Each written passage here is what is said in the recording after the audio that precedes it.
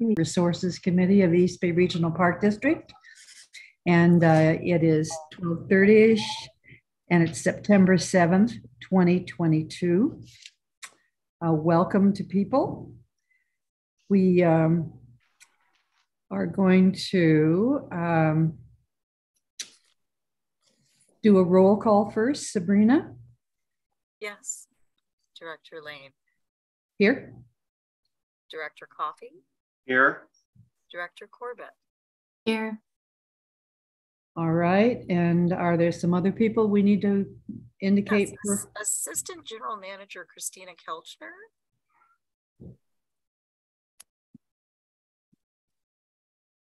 She's she's here and muted. And then um, Chief of Stewardship Matt Graul. I think he's just coming on now. All right. Welcome to both of you uh, and all of you who are here. Uh, today's meeting is held virtually pursuant to the Brown Act and AB 361. Board members and staff may participate uh, via phone and video conferencing. Um, we are all virtual today. So we're providing live audio and video streaming and have provided the public the opportunity to email or call in call in prior to the meeting uh, for public comment. All information regarding participation in this meeting can be uh, viewed on the agenda on the district website ebparks.org. We will take public comment after each presentation. So are there any questions about this uh, from the committee? No. Okay, not seeing any. Um, Sabrina, do you want to say something about people doing public comment uh, at this time? Should we just send them to you? Um, I, I can just, um, I can go over how public comment was submitted, um, the three ways that you could submit public comment for this meeting. Would you um, do that, please? Okay, I will do so. Thank you, Director Lane. The first way was via email to naturalcultural at ebparks.org, email, or voicemail to 510-544-2651, or live via Zoom at this link um, during the meeting. We will set a time, as Director Lane said, at the end of this meeting for public comment, as well as after each presentation. So if you would like, if you are on the live Zoom call and you would like to speak, please um, let us know, send me a chat message and raise your hand at the end of the presentation. Thank you very much. Okay, thank you for that. Our first um, agenda item is nature check, understanding wildlife health on East Bay lands. So we're going to have a presentation from Ecological Services Manager Becky Tuden and Wildlife Program um, Manager Doug Bell. And is is Tuden the way to pronounce that? It is. Thank oh, you. good, good guess. All right, so please proceed. Let me share my screen.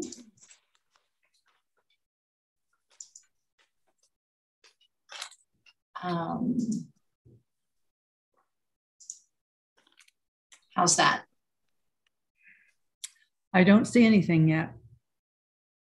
Hmm. Still nothing? Nothing. Well, I did share screen. I shared the screen. How's that? Here we go. Yes. So it, it doesn't fill up everything, but it's there. There you go. There we is are. That the, is that the correct one? Sorry about that. Is that the yes. view? Mm -hmm. Okay. um, welcome. My name is Becky Tuden. I'm the Ecological Services Manager, and I will be co-presenting with Doug Bell on Nature Check. Uh, and I'm very pleased to be here in front of the Natural Cultural Resources Committee. Um, as you may recall, we came in front of the board just about a year ago um, and gave an update on the ecological health assessment. And Director Lane, you wisely suggested that we come up with a new name. And we did. It's called Nature Check. So throughout this presentation, um, we can refer to it interchangeably as either Nature Check or the ecological health assessment. Um, and we completed this report in May of this year. Uh, and uh, just so you know, this report only covered wildlife. Uh, we will have a future report on uh, vegetation, a nature check report on vegetation that we will be using the fine scale vegetation map and fuels mapping effort that is underway to help inform that report. Uh, so I'm going to walk you through the framework just one more time, um, just as a refresher, and then Doug Bell uh, will come and discuss the results that we got from the report. Now, I know you had a discussion about the logo and what animals, yes, etc., would appear, and so what are the ones that we have? So the ones on the logo um, are there's a golden eagle flying. And there's a bobcat, who's a mesocarnivore, which is covered in our study. Uh, there's a ground squirrel, which is a keystone species, although many people think it's just a nuisance, but um, Doug will explain why we included it. And then there is an amphibian, a newt, which is included in our um, amphibian and reptile diversity index. All right, thank you. And, and I, Doug is probably going to kick me, but the golden eagle is also one of our indicator species. So. Okay. Uh, so you. why why did we do this? Um, it's always best management practices to assess the natural resources um, so that you can uh, inform your management. But it's also consistent um, and in line with our Park District Master Plan goals to monitor the health and viability of our natural resources and also to coordinate with other agencies on that. Um, so what we did to start the ecological health assessment was we reached out to our partners uh, and we collaborated with the four largest land managers in Alameda and Contra Costa County, California State Parks, East Bay Municipal Utility District, Contra Costa Water District, um, and the San Francisco Public Utilities Commission. And together we collectively manage over 225,000 acres in those two counties which is roughly 25% of the total area of those counties. Um, and it's also approaching the um, 30%, which is the goal in the governor's 30 by 30 initiative, which is looking to conserve 30% of the lands by 2030. And another point I want to just make in working with our partners is it really was uh, the formation of the East Bay Stewardship Network. Um, Nature Check launched this effort and it was a beginning step in intentional management and collaboration across jurisdictional lines. So here's a map of the focus area. Um, and you'll see that we have three subregions. Um, subregion one is the East Bay Hills. Subregion two is the Mount Diablo Range. And subregion three is the Mount Hamilton Range. And each of the different colors represent the different landowners and the land they manage in that study area. And those three landscape units came from the Conservation Land Network, which is a project underneath Together Bay Area, which is another regional uh, effort to do collaboration for resource management. So we're really trying to build and capitalize on existing efforts. And across those three subregions, we did cover the same species with the same metrics, but we thought we could tease out some differences in how those species might be doing. The East Bay Hills tends to be a little bit cooler, perhaps more wooded, whereas the eastern counties are drier. So, um, well, again, it's the same information. We might get different results by subregion. So, what is an ecological health assessment? Uh, so what it does is it provides a framework uh, that uses existing data and allows us to create a baseline measurement of the ecological health of the region. And now that we've completed this baseline measurement, we can take that same measurement a few years from now and measure the health ongoing. So it would help us understand those resources and how they're faring in the place of climate change, increased development, and other stressors. So what we currently do is we gather data and we monitor efforts either through permit compliance or research permits or other reasons, but it's often on a site specific basis and it's often individual species focused. So what this does is it pulls it all together across a landscape, um, not just site by site. And we're using the same species with the same metrics and thresholds across the landscape on a consistent and ongoing basis. So what I mean by metrics and thresholds um, as an example that I always use is we often, um, we have multiple ways of measuring the health of the human body. We have blood pressure, cholesterol, oxygen level, temp temperatures. Um, and each of those metrics have different thresholds that tell you you're in good health, there's caution, or there's significant concern. So we did that exact same um, process of identifying metrics and threshold for our ecosystem taxa as a way of measuring our ecological health. Now, note that in some cases we have less data, or perhaps it was less clear what was the best metric to use.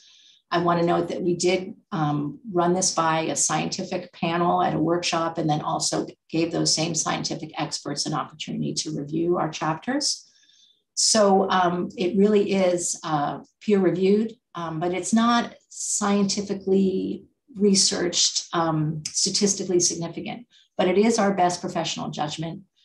Um, and while there isn't a right answer, it's really going to do a lot to help inform our management and uh, help us identify where our key data gaps are and how to best respond to the stressors.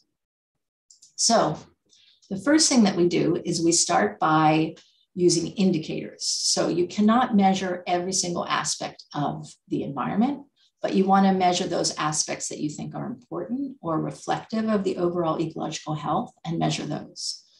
So the taxa that we studied include fish, amphibians, uh, we looked at the golden eagle as an iconic species, and then we also looked at a, a suite of bird species by habitat type. And then we looked at a range of mammals, both rare um, as well as keystone, like the ground squirrel, um, bats, puma, and other mesocarnivores. So we chose those because they were, we felt representative of the study area. We had information and data across the study area. And um, we also had sufficient data over time. And in this case, we went from roughly a 10 year period, 2009 to 2019. Uh, and just to give you a little bit, I'm going to walk you through one taxa and one metric so you can see how uh, we use those thresholds. So in this instance, it's the California red, red-legged frog, an amphibian that we chose as one of our indicator species. And the metrics we chose, there were four of them presence, breeding, metapopulations, and then invasive species. And just looking at the one metric, um, the presence, we looked at the number of ponds occupied by the red legged frog. And if that was maintained or increased, we said that's good, it's in a healthy condition. If the number of occupied ponds declined by 10%, that's reason for caution. And if it declined by more than 20%, that's significant concern. So that's an example of one metric that we developed for one of our taxa. And we did this same process for multiple metrics for multiple taxa. And then we rolled it up to get an actual results. So um, this is the framework that we use to uh, kind of convey this complicated information to the public in a very simplistic way. First, we looked at the trend. How is it changing over time? In some cases, because this is the first report, the baseline report, we didn't necessarily have um, a trend that we could speak to, so then it would be unknown. But otherwise, we would say the trend was improving, unchanging, or declining. And then for the condition, again, we're looking at the current state of the indicator using those metrics and those thresholds uh, is it good, caution, significant concern, or in some cases, we don't have enough data to say. And then I think what's what I really want to note here is the confidence that we have in the data. How robust and how recent is the data? And given that um, we're we're creating our own metrics based on best professional judgment, we wanted to be transparent about the amount of data that we had, um, and we really had to push our experts um, on these highly complex ecological systems and try to get them to pare down to look at these metrics. Uh, so again, it's science driven and it's a better model than we currently have. Uh, so now I'm going to turn it over to my colleague, Doug Bell, the Wildlife Program Manager, to give you the results. Quick mask change.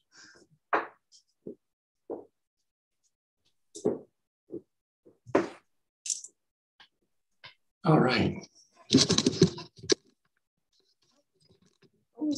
There we go. Um, thank you. Um, thank you, Becky, and uh, good afternoon, Directors Corbett, Lane, and Coffey, as well as ladies and gentlemen. It really is a pleasure to speak to you this afternoon about this huge effort. Um, it, it, basically, as, as Becky alluded to, it was a, it was a system-wide effort by the multiple sister agencies but not just that, I mean, we pulled in experts from across the state to help inform the process, to help inform the process of developing metrics, um, and even, even the, the, indicator species that we wanted to look at. Um, so, so it's, it really was a, a gigantic team effort, uh, both within the sister agencies as well as um, beyond with all the experts that we pulled in. Um, so what I hope to do is, is just run through, it's um, the, a series of results and analyses that we, that we um, completed for the various organ, uh, taxa animal groups that we looked at. Um, but really, it's, it's, there's much more information to present than we have time here. So I would certainly advise you if you, if you have further interest um, to actually go to Nature Check itself, this volume, it's available um, online. It's very thick and gives you a lot of really excellent detail. So let's drop into the fish um, first. And uh, we analyzed, um, if we look here at the, uh, the again, the, the, the, three subregions, East Bay Hills, Mount Hamilton, Mount Diablo, um, we analyzed four watersheds for which we had really good data. Um, that would be Pinole Creek, Wildcat Creek, San Leandro Creek, and Alameda Creek. Um, unfortunately, um, and also pointing out the data gaps that this system is, that, that our methods have helped actually um, you know, make us aware of, of, gaps in data that we need to collect uh, moving forward. The Mount Diablo region does not have um, great coverage as far as stream surveys go.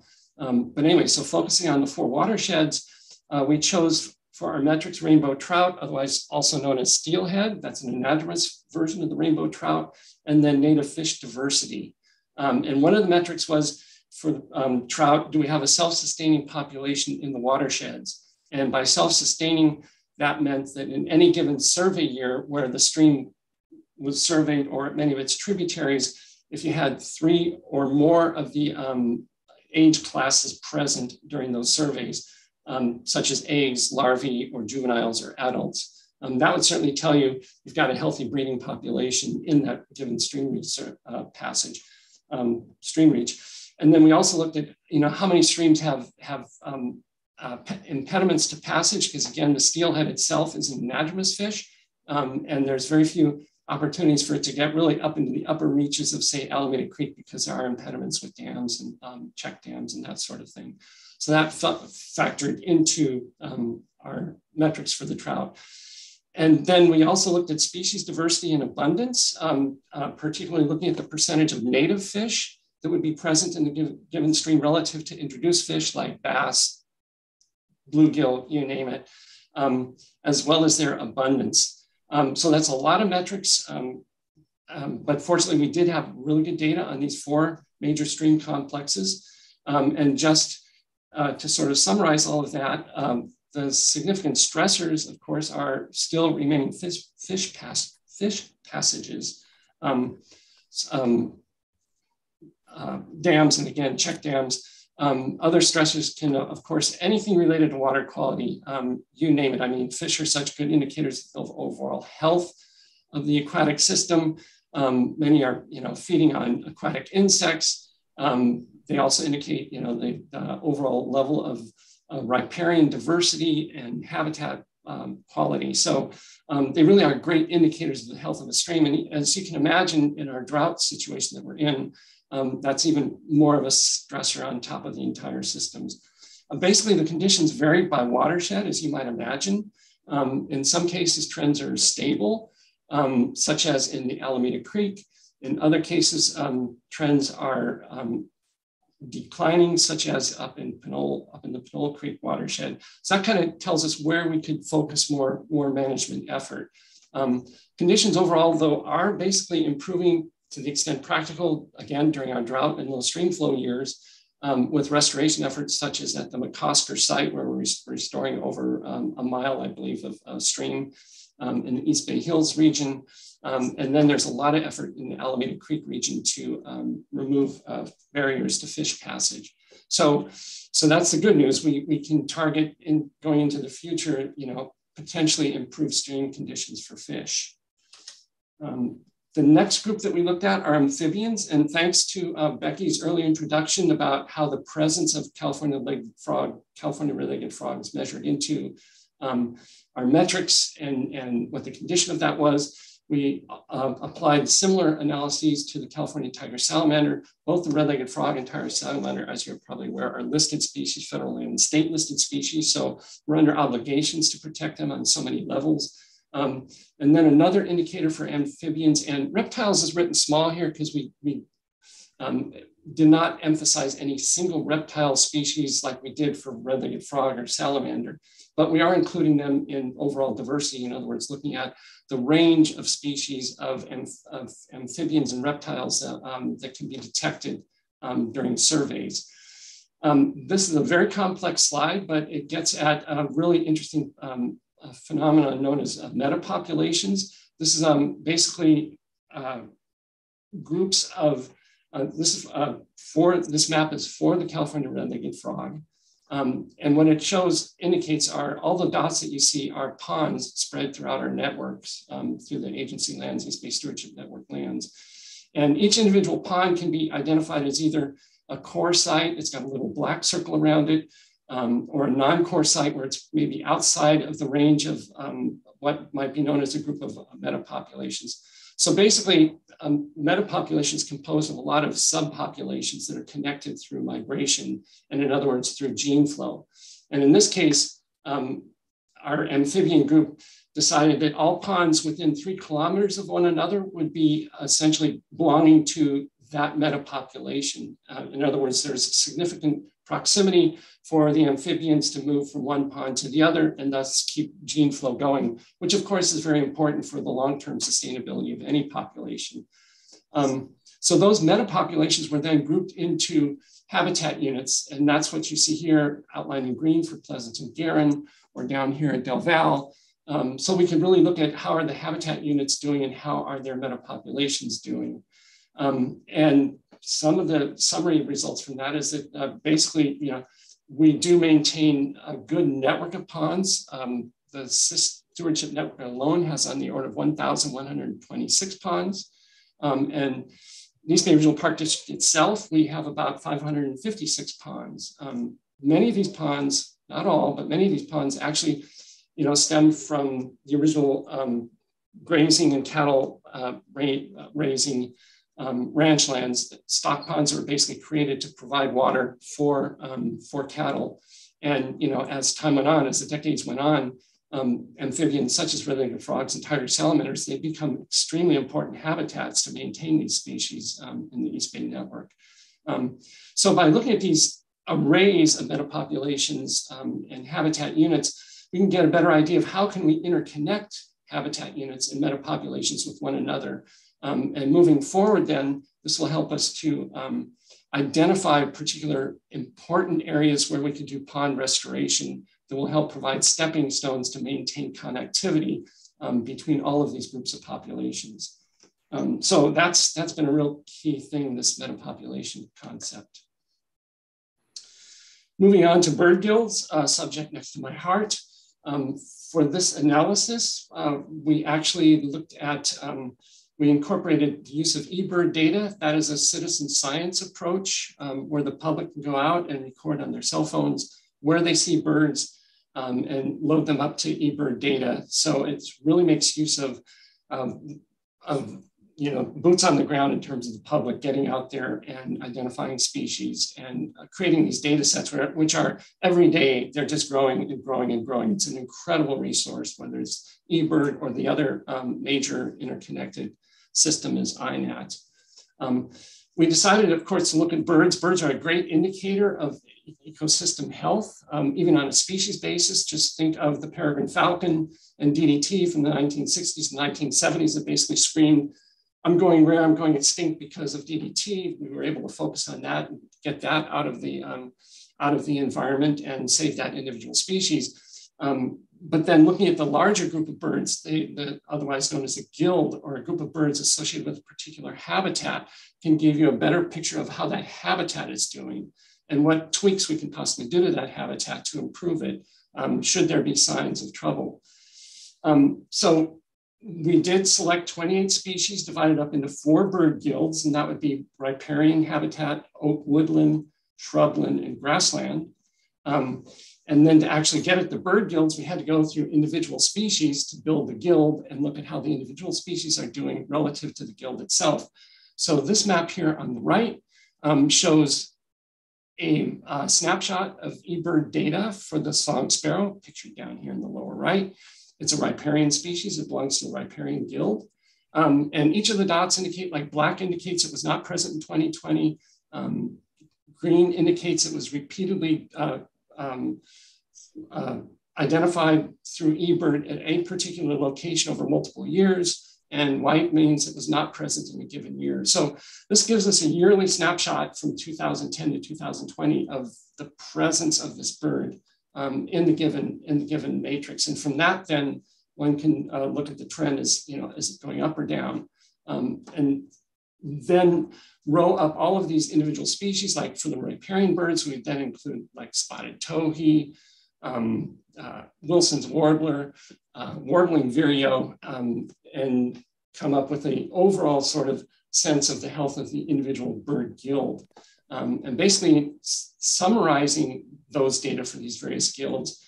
Um, for the riparian guild, which consists of nine species, the oak woodland guild of nine species, shrubland habitats of only three species, um, the trend has been unchanging. That is relatively stable for these for these last uh, for this last decade or 11 years.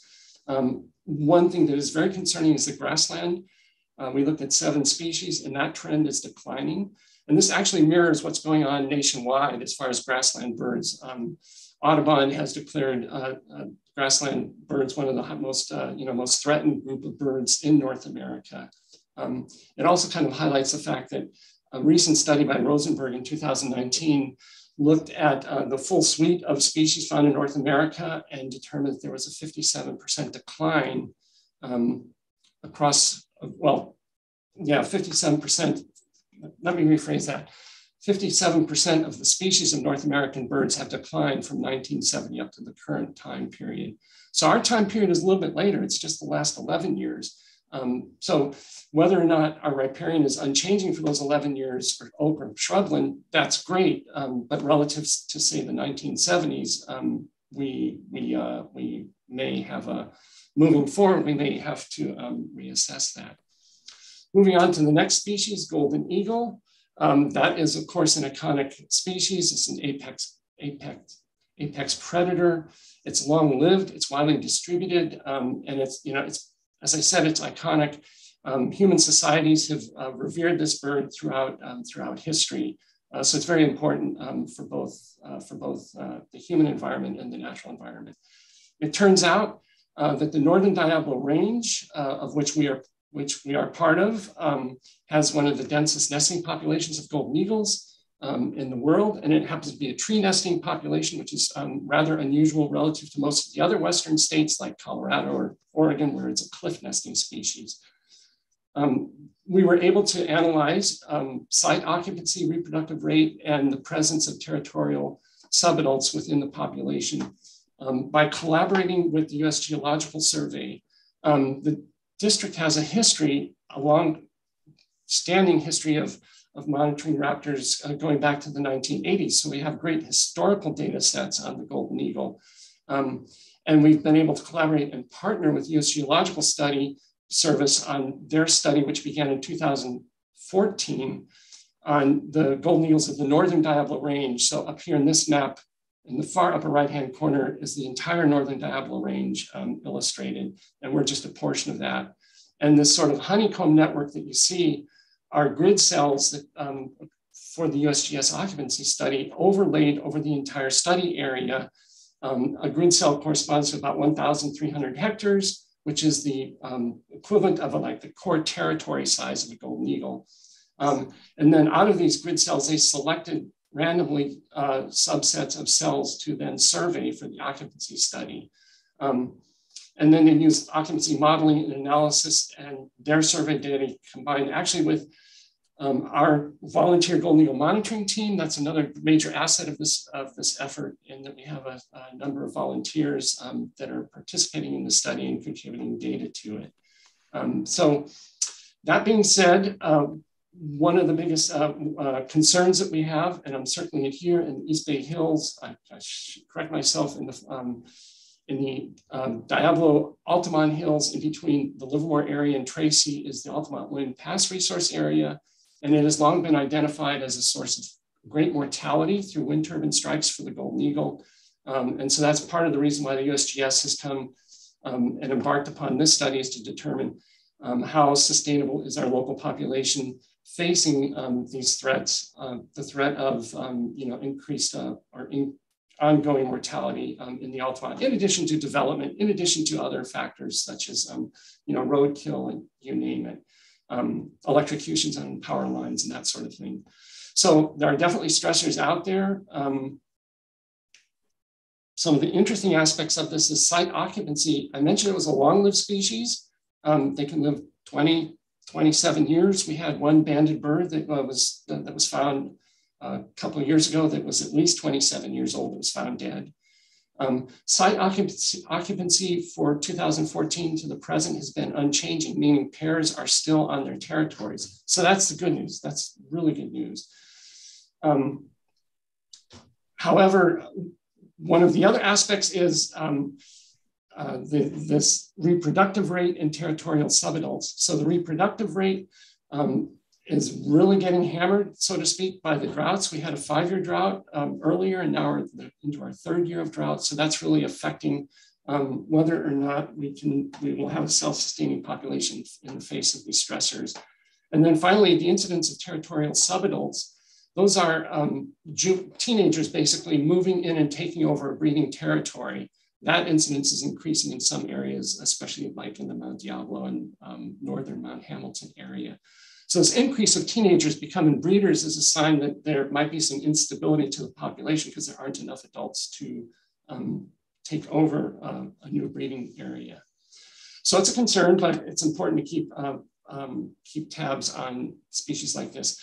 The next species, ground squirrel, um, it, uh, it's it's a it's as, as Becky alluded to, it's often considered a pest. Um, it's gone through a lot of stressors in historical times, and that it was poisoned extensively through, throughout a lot of the open public lands and agricultural lands.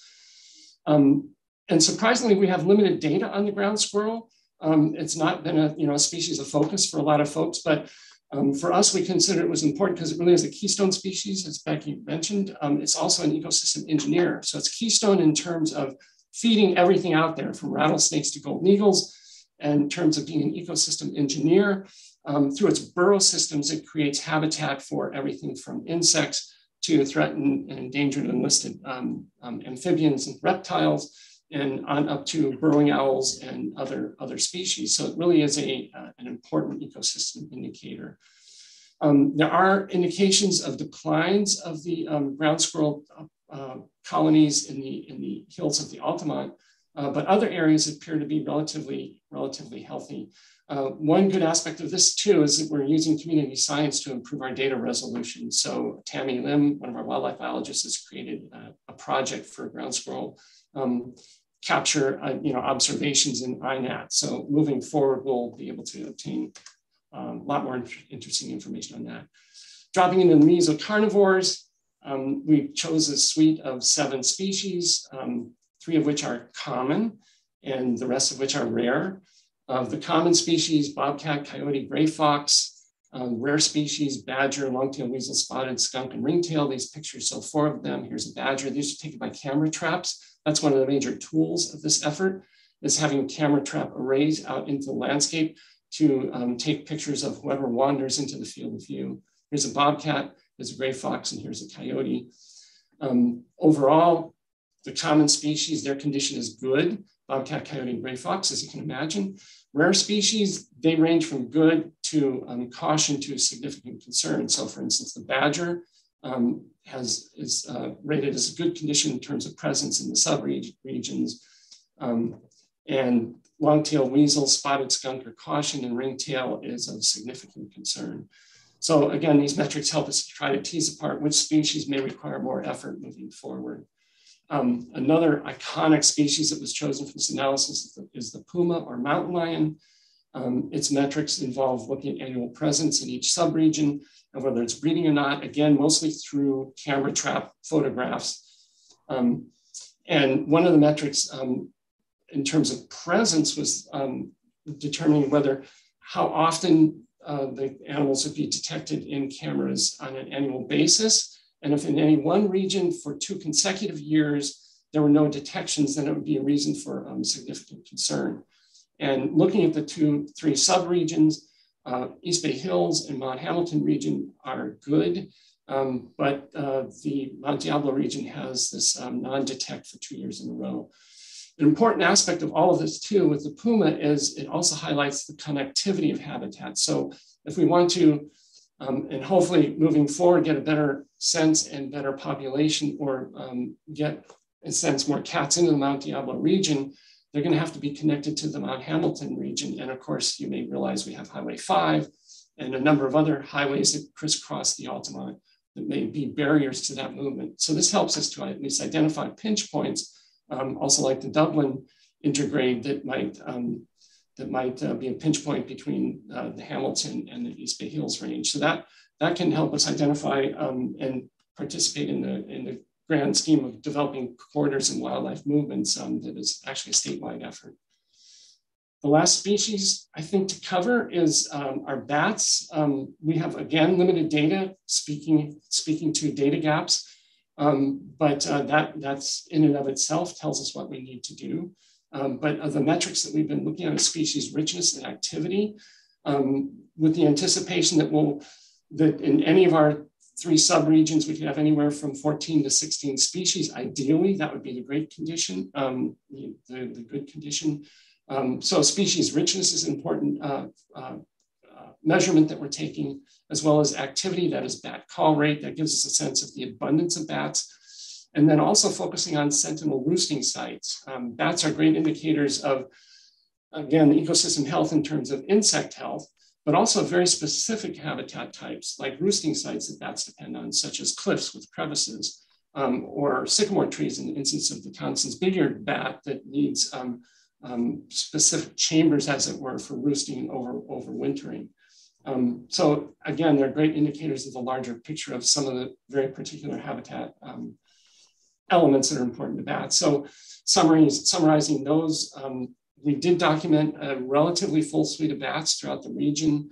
Um, in terms of species richness though, um, we have caution um, overall and a trend declining in the Mount Hamilton region, but yet increasing in the East Bay Hills. so uh, hopefully with data gaps, we'll, um, filling some of the data gaps, we'll get a better sense of how, how these trends are panning out and um, whether or not we can uh, embark on further management actions.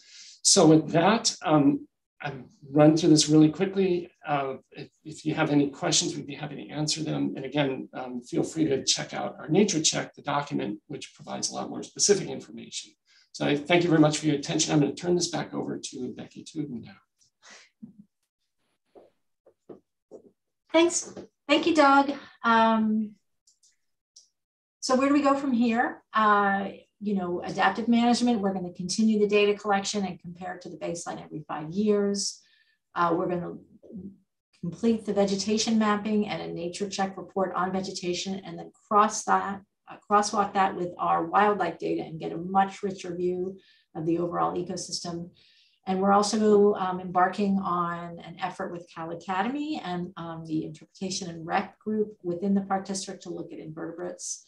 And that would involve using community science, both um, the existing studies where we have for iNat or eBird, um, but also perhaps Sonobat and invertebrates. Um, but the biggest opportunity and that what I really want to draw um, this committee's attention to is to capitalize on the East Bay Stewardship Network and the benefits of collaborating across jurisdictional lines. Um, what we have, the information we have will allow us to um, jointly see what's working and not working and help us um, pick shared priorities. Uh, and we've been doing that on the staff level, but it's been extracurricular to date. And uh, what we're hoping is that we can knit together more formalized agency partnerships and priority setting. So we don't have just scientists sitting around the table, but land managers, funders, and board members like yourselves at committee meetings or liaison, meetings um, where we can scaffold the existing nature check assessments and direct our efforts um, to improve those habitats that we, we have assessment information telling us are most important and also um, improve our competitiveness for grant funding. So look for those topics in the future, uh, meeting agendas and conversations. Uh, and uh, with that, we had a ton of people working on this, fabulous people, an innovative approach. Um, Tammy Lim uh, isn't here today, but she really was instrumental. And you heard all of the uh, research that Doug mentioned. There were hordes of people behind that. Thank you. Uh, let me know if you have any questions for Doug or me. Well, you know, I do have an initial question, and that is um, who is actually gathering um, all of this information? Is it um, staff for the agencies that are collaborating? Is it um, uh, citizen scientists, for instance, in the in um, bird surveys? Um, how do you get this information? So that's an excellent question. Uh, uh, I'm going to let um, Doug speak to some of the specifics, but more broadly, we just we were capitalizing on information that we were already gathering. So staff does pond surveys. We also do pond surveys as part of land use documents or EIR. So that's where we got a lot of that information. For the um, bird guilds, that was community scientists over the last 50 years who've been putting data in to that and that we were able then to extract it and analyze it and um, and fish surveys. We've been doing that, and that's staff who are doing that. So it really varies by species. The golden eagle was the USGS who's been doing studies on that. So it, it depended on what the species was, what the existing data is, because we didn't really want to add new tasks to what data we were already gathering. We wanted to capitalize on what data we are currently gathering. The exception, I think, being the ground squirrels, whereas Doug mentioned we haven't done a lot of data gathering on that. Doug, you want to step up and say? Sure. Yeah, I would just add too, um, in terms of where the data are, where they sit, is um, we do gather the data, and that's one of the things that uh, stewardship is working on to improve is our, our management of databases. So that's very important. So all of these data do eventually come to a central storehouse. Right now, um, it's it's it's basically in in our in our bailiwick um, to store that data and manage it.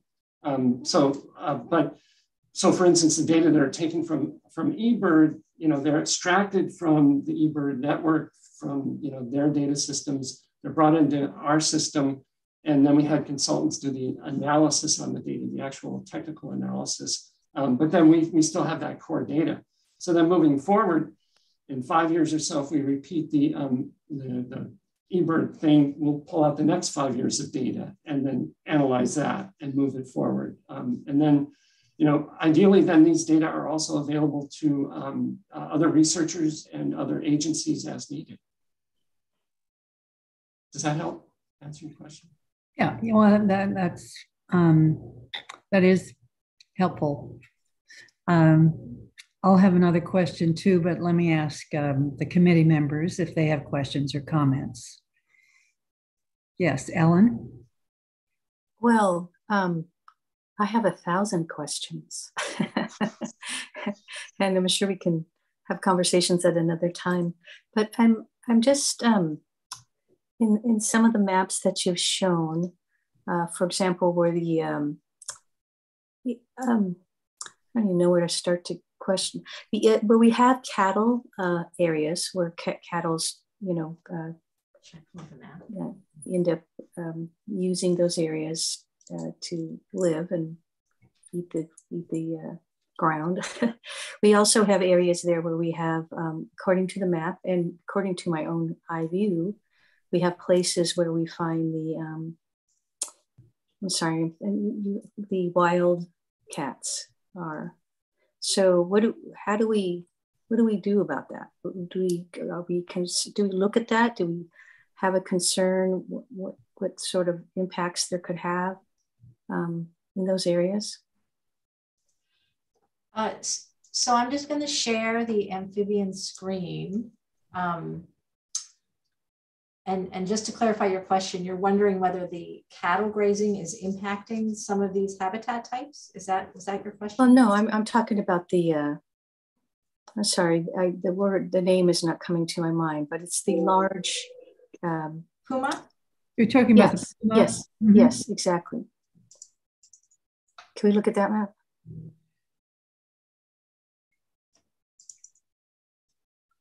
Yes. Does that help? Yeah.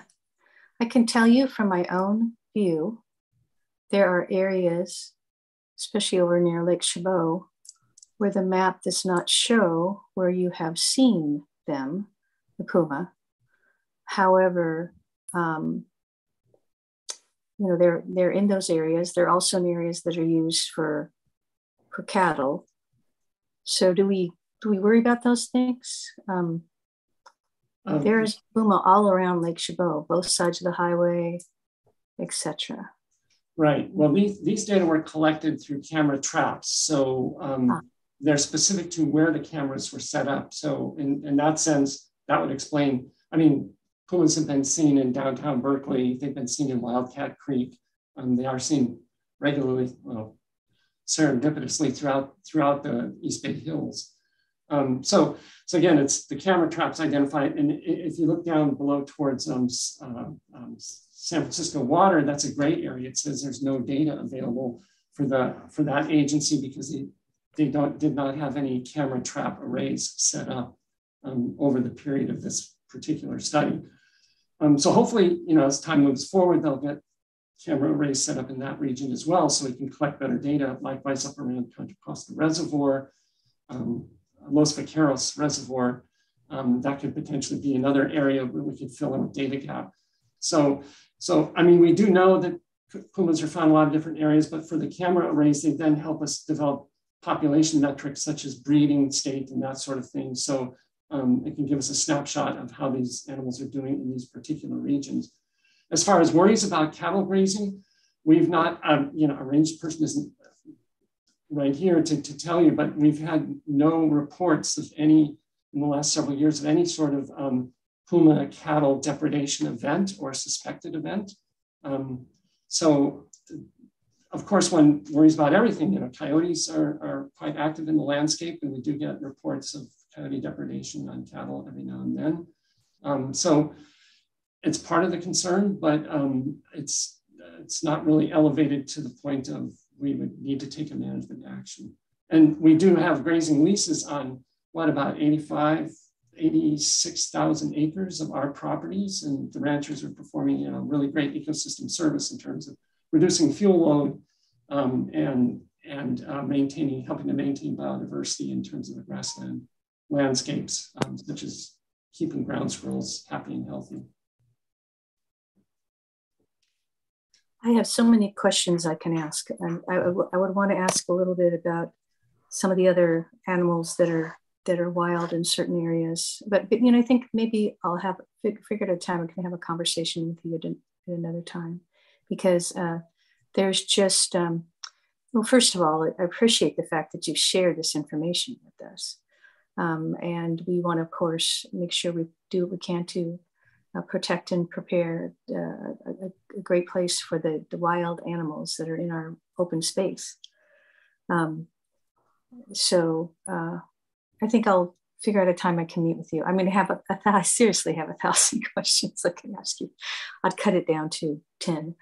it's wonderful. We welcome your questions and um, we're very excited to have this um, research. You can see a lot of effort went into it and we have kind of fine results that we can um, look at or also big results that we can um, discuss. And then I, I Yeah, I appreciate it. It's, it's an amazing thing that in the parts of the district I happen to represent, um, we see these uh, these wild animals uh, in people's neighborhoods, backyards. They hear them. People aren't complaining about them. They think it's amazing, you know, that that's all all there in that area. And um, so it, it is working. Like, for example, how you said that, uh, that there weren't problems with uh, cattle and the, and the puma. Um, and, and that's true. They, they live in that area. You see it at, at night. They're walking through certain people's neighborhoods. It's just amazing that we live in an area where we have these wild animals. So, so I guess the question will be, what do we do to continue to protect them and, um, you know, keep a, people safe in their neighborhoods as well, um, and uh, keep our open space as a place where people can spend some time, and so can the puma, because they obviously love some large parts of the land that the East Bay Region Park District is responsible for. I mean, it, it's amazing what we do that protects them. So, anyway, I could talk about many of the other animals too, but I'll, I'll be quiet and let the rest of people say something. But I do, I would love to have a conversation and, and, and get some of my questions answered. Thank you. And thanks, Director Corbett and Matt Graul, Chief of Stewardship, for the people listening that don't know me. But um, Director Corbett, thanks for your interest. Really appreciate it. I'll follow up with you after the meeting at some point just to talk a little more about it, to determine like your questions, and we can put together a quick meeting with other staff. I know our staff that have worked on this are very passionate about it, so they'd be happy to meet and talk more about it. I mean, Doug and Becky can certainly uh, carry a lot of it, but I know the staff that worked on it are also very interested too. So we could put together a little meeting and um, just get get into a lot of the details because I know we're all really excited about the information and data. So thank you. And I agree, Doug and Becky have been very involved in these types of uh, putting this information together for, for a long time, and it wouldn't be happening without them. so thank you so much. uh, Colin, do you have any comments or questions? Sure, sure thank you. Are we using uh, Puma as synonymous with mountain lion? Yes. Okay, because I been thinking that a puma was a version of mountain lion as opposed to just what we commonly refer to as mountain lions. You know, there was a mountain lion sighted in my hometown in Hercules, I think last week on the western side of Highway 80, and that's unheard of. Um, we, we hear about them up in the hills on the eastern edge where we're closer to Briones, but that was amazing. Um, where can I find uh, Nature Check? Is it on the ebparks.org website? Yes, it is. And you know what? I will email you the direct link to each of the um, okay. board members. I definitely, I mean, that's something like Ellen says, we're, we all have our animals that we're interested in. So I, would like to download it or, or read it online uh, one way or the other and look uh, up some of these critters. Um, it's pretty dense reading, I warn you. Don't be sleepy. every report you people do is never mind.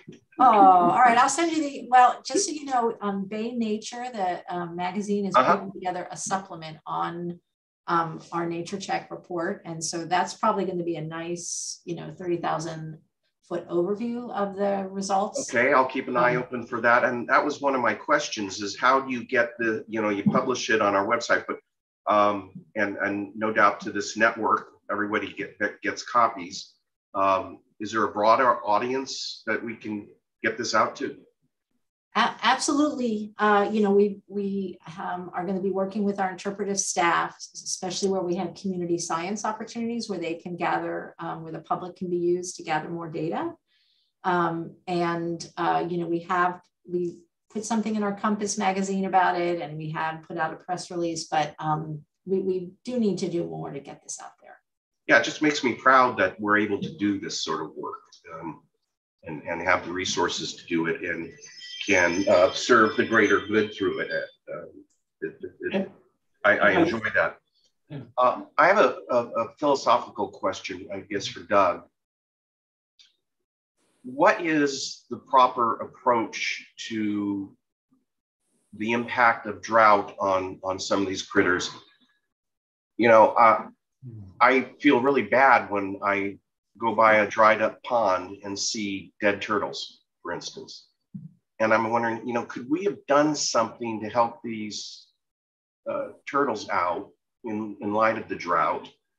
Or is the philosophical approach or professional approach I, I might use in reference to you, Doug, and is, you know, do you let drought just go on and and and harm the critters or and, and I'll just use a close to home um, uh, illustration. There are several of us in my neighborhood who put out water for deer because for the first time in my memory, the creek that runs down the canyon we live in um, is totally dry. It, you, there used to be enough groundwater during the summer to keep little puddles throughout the creek.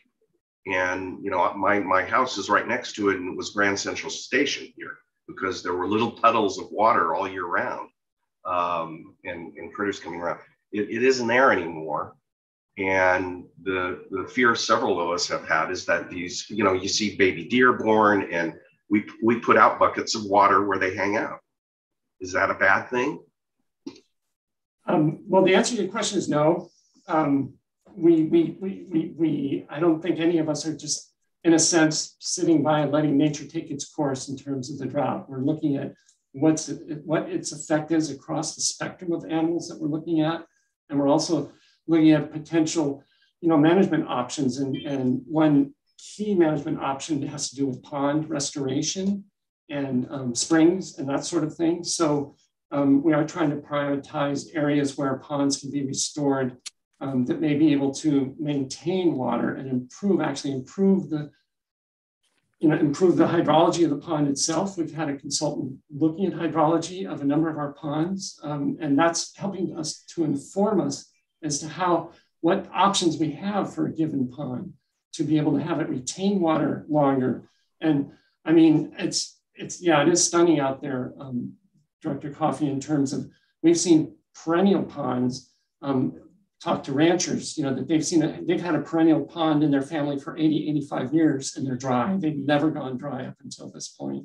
So it's region wide, definitely, it's almost catastrophic. But um, if there's things we can do to um, maintain a few ponds moving forward and, you know, and or the hydrology of a stream network or a stream reach uh, to improve perhaps a riparian habitat, you know, restoration that helps retain water rather than having it just run off so there's a lot of little tiny management tweaks that we can potentially do to try to combat that situation. But I think all of us are scratching our heads, you know, looking to the future as to what can we do. Um, in addition, you know, looking at how habitats in, can change and how species can move as, as the drought increases or as climate gets warmer. Um, that's also important to keep in mind for corridors to allow animals and, and plants as well to respond to the landscape. Like maybe departing the hotter lower lands for slightly higher elevations. So there's really, it's, it's really an active field research and um, none of us are sitting by and just letting nature take its course.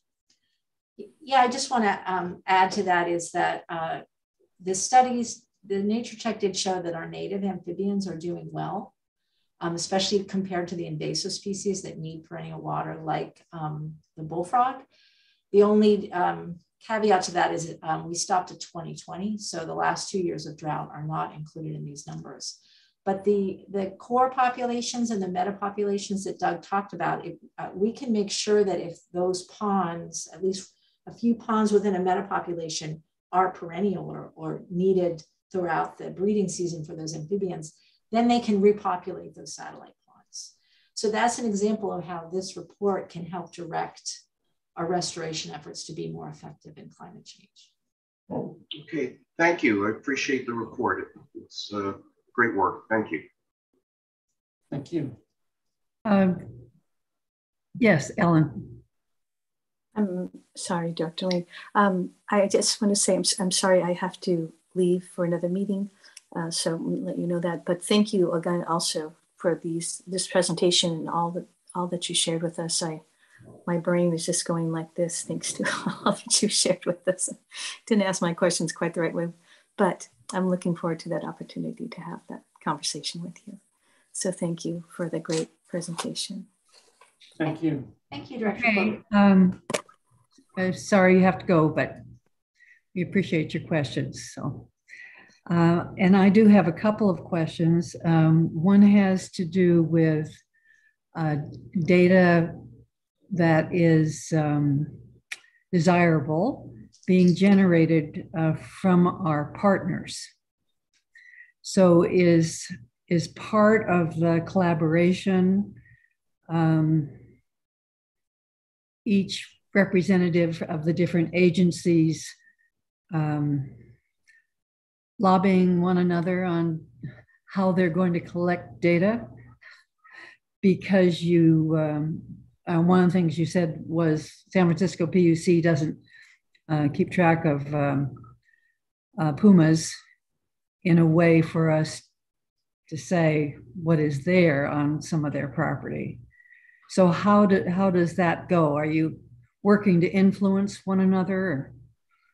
So that's a very good question. Um, you know, for the fish and amphibians, because they're listed species or because they just have a history of um, wanting to monitor those species, it was very mutual, the amount of data that came in. Um, for some of these other species uh, where we invested in the camera traps, um, they did not, although there is interest in doing so. And now we have a framework where if they wanted to set them up, you know, it would be a common, streamlined, and consistent um, data collection. But that's really why we want to take this East Bay Stewardship Network concept and take it just out of the staff and bring it up to the managers and to maybe even the um, people such as yourselves, the board members, to say, hey, it's no longer extracurricular. We really want to work to see what data is still needed and how we can collaborate on that. Uh, okay, because, um, and that is a, an, another step. We do have regular meetings with East Bay Mud. Mm-hmm. And um, we put things on the agenda to, to be discussed. And if there are um, uh, items that you might be interested in uh, influencing East Bay Mud to do that they don't do now, um, you might give one of us a call. Uh, we don't need to do that now, but uh, and and we uh, we don't meet that regularly with with the other agencies, you know, as, as uh, board members but we do meet with East Bay Mud. And, um, and likewise, you know, if there were something from some of the other agencies, you need to take advantage of the fact that you have Nature Check going now and um, ask that that be on the agenda when we do have those meetings and then talk about um, how we could have some of these conversations which would make the whole um, production more robust. So uh, if you could keep that in mind, and uh, you might give me a call if there's something with East Bay Mud because we have a meeting coming up. Oh, okay. We will, yes, yes, we will definitely follow up. Thank you. That's exactly what we hope to do is is bring it to their attention and and then if need we need extra funds, we're perfectly poised for grant applications because we are so you know landscape wide with um, climate resiliency data we're gathering. So yeah, okay. So I don't know who's putting together the East Bay Mud uh, Park District meeting, but that is coming up, and you might contact whoever. You know, things are kind of disrupted as to who. I think public affairs used to do that, but anyway, um, you might make the suggestion that we spend a little time on Nature Check Okay. We could get some feedback. Uh, and if there's something you're particularly, you'd particularly like to see them pursue, you know, ask us to ask them, you know. So, absolutely. Um, Thank you. Okay. And then my final one has to do with um, uh, the map that you put up, Doug, that had to do with the fish and you were looking at the watersheds, because I do have a, a watershed question. Um, so you talked about four watersheds, and the reason you selected those was that you had uh, information, um, current information on those on those watersheds. And I um, noticed that the um, um, Walnut Creek watershed was not included. And I think in the middle of the map, I think that's the Alameda Creek watershed that is in Contra Costa County. Or am I looking at that incorrectly? This one here? Yeah, the you know the gray one is that Alameda in Contra Costa County. It's on the border. Well, because Tassajara, you know, Alamo Creek and Tassajara Creek flow into Alameda. Creek. Correct. That is correct. That would be the, these two. That's Tassajara okay. and Alamo Creek. Yeah. Um, because I I remember reading first Alameda. I remember reading um, some findings that were very interesting to me. You know, the historical examination of of um, watersheds that um, Grossinger and some others, I think, have done. And when it came to the county line, they didn't go north. Mm-hmm. And I was like, so that's part of the watershed. And why is that? And then the Walnut Creek watershed is one that I know that I'm most familiar with. And um, there have been issues where public works says, well, there's never any fish in there. And which is not true.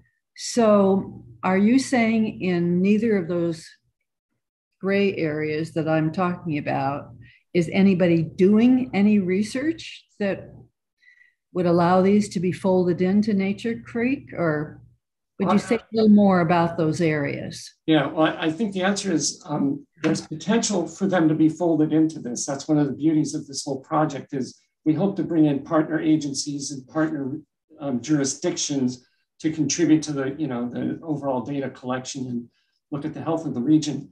Um, you know, there, there's there's a lot of there's a lot of friends of creeks, um, friends of Marsh Creek, um, you know, friends of uh, Walnut Creek organizations that are doing the, the rapid surveys. So there is a lot of information and effort going into a lot of these other creeks. Even Lower Walnut Creek is undergoing a, a very large restoration effort right now, um, funded by funded by um, you know one of the one of the water uh, agencies up there or water treatment agencies up there.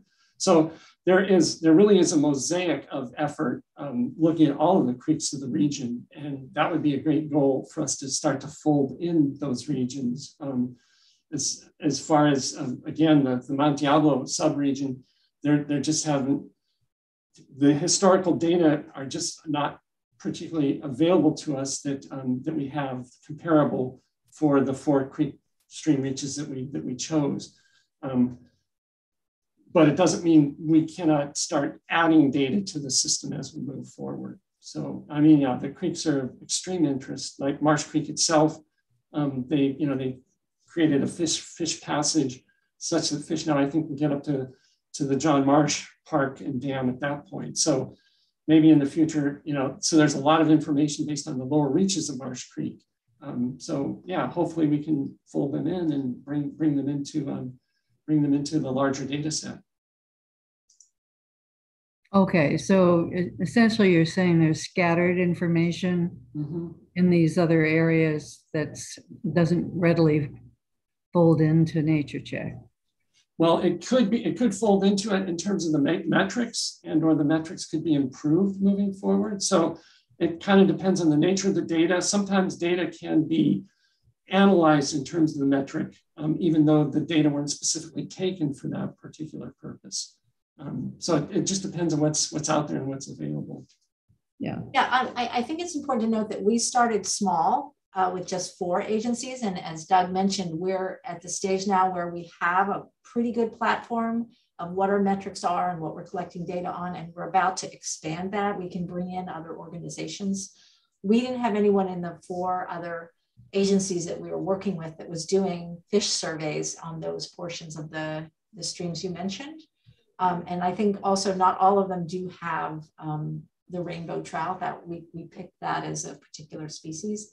Moving forward, we can look, we can work with those partners, see what um, data they have, see what other species they have that we might want to include. Okay, well, I'm- I was, I was just interested in, the in the gaps there. Yes. Okay, thank you very much. Uh, Anything else, Colin? No, thank you. I, I appreciate your doing this work and uh, having it available on the internet. And I'm looking forward to seeing the, uh, it's going to be a special supplement for Bay Nature. Yes, it should be coming out this fall, so pretty soon. Okay, oh, very cool. All right, well, thank you very much, Becky, and thank you, Doug. I, I appreciate it today. Thank you. Thank you very much. And then I would like to see if there's any public comment on this item on the agenda. Sabrina, did you get anybody wanting to comment? No, Director Lane, we do not have any public comment and there are no uh, people, um, additional public members in the Zoom call at this time. All right, thank you very much. So let's move on to our next item, which is East Bay Park Archives virtual tour and needs with an assessment report update. Um, Brenda Montano. Hi, Brenda. Hello, hello, Director Lane, and hello, Director Coffey. Um, that that presentation that we just saw was amazing, and um, I'm still so honored, um, and uh, that I work here at the Park District alongside these folks. So, Yeah. um, and I do love them. I love running into them and talking with them. So, um, I'm going to be sharing a virtual tour, which is a video.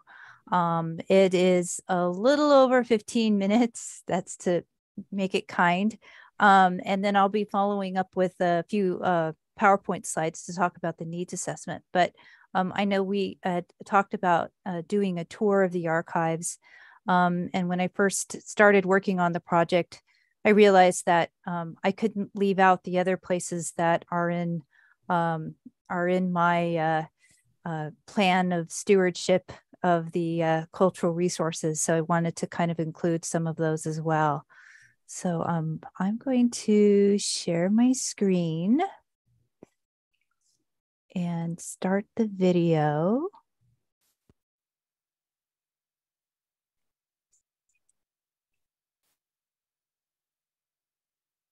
Welcome everyone. We are here at the Trudeau Training Center at the start of the virtual tour that I wanted to share with all of you about the archives and where we're at. Let's go on inside. As we enter the archives, we come right into the working room. Before COVID, there used to be 12 to 15 volunteers every Wednesday gathered around this table, going through these boxes. One of the current working projects that we're doing, these beautiful acid-free brand new sleeves, will be the new homes for historic negatives, mostly taken by one man, Martin J. Cooney, these are actually his handwritten notes documenting land acquisition photos before the parks became parks, photographs of staff, special events, you name it. We are going to be working on selecting some of the best of his that we can actually put on our website for people to peruse and take a look at. We're very excited about that project.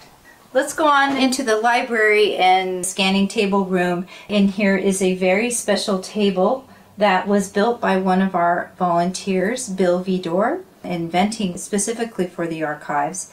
We needed something that would flatten the maps delicately enough that it wouldn't harm the map itself, but then we can also get a high res image of the actual map. Now, this map is from the 1930s when the Park District was first being built by the CCC. Back then, San Pablo was the African American camp and this map shows some of the trails and the roadways that they worked on. The next map, probably the 1960s of Contra Loma Regional Park, we have this unique overlay of showing what they thought that they would have at this park train depot, equestrian center, all the hand drawn concepts. These are just a treasure to show the creativity and the vision of our wonderful staff here. And uh, around the room, we have Park District publications. We have very unique books. Most of them are out of print.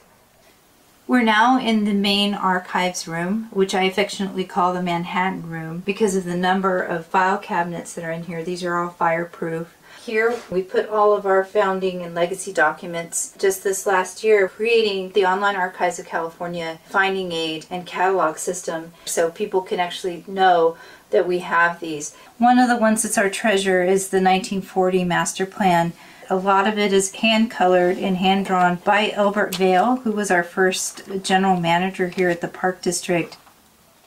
We also have information about bond measures, how we develop them, and mainly Rosemary Cameron, former AGM of Public Affairs. She did come here and donate a lot of her files. And then these are the 35 millimeter slides. Again, I would love to mention Bill Vidor. He invented a way to scan slides that is ingenious. Over these 15 years, he's gone up to almost 30,000 slides. And then here we have our oral histories, but I also add biographies, photographs, uh, press releases. There's resumes when board directors uh, first started. We also have the most extensive collection of fire history material in here, and we have Jerry Kent, one of our volunteers at the archives, to thank for that.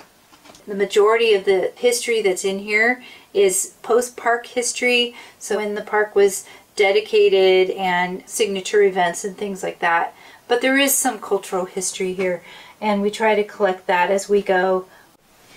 And this is what I like to call our media room. This side of the wall is a very special collection from a filmmaker. Her name is Judy Irving. She filmed alongside Bob Walker in many of our East Bay regional parks. We've received a grant through California Revealed to digitize her final movies online. Over here on this side of the wall are uh, DVDs, VHS. We've got hard drives there of all kinds of press release videos, PSAs, Doug McConnell shows. On this side, we have patches from the early patches to the 1980s. We have patches that are our district uniforms. Here, this is Randy Parent, who was a helicopter pilot with us for many years. Finally, the carousel rolls for the organ. That's at the Tilden Merry-Go-Round. Just recently, I've been talking with the concessionaire about trying to use some of these rolls again at their organ this building used to be the Park District headquarters, and this was their vault.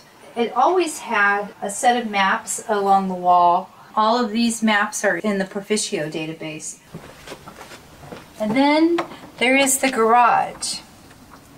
A lot of the field finds, items from the Burrell property, the Murphy Proviance, which is the Round Valley property, and a menagerie of other places do we keep them? Do they have exhibit value?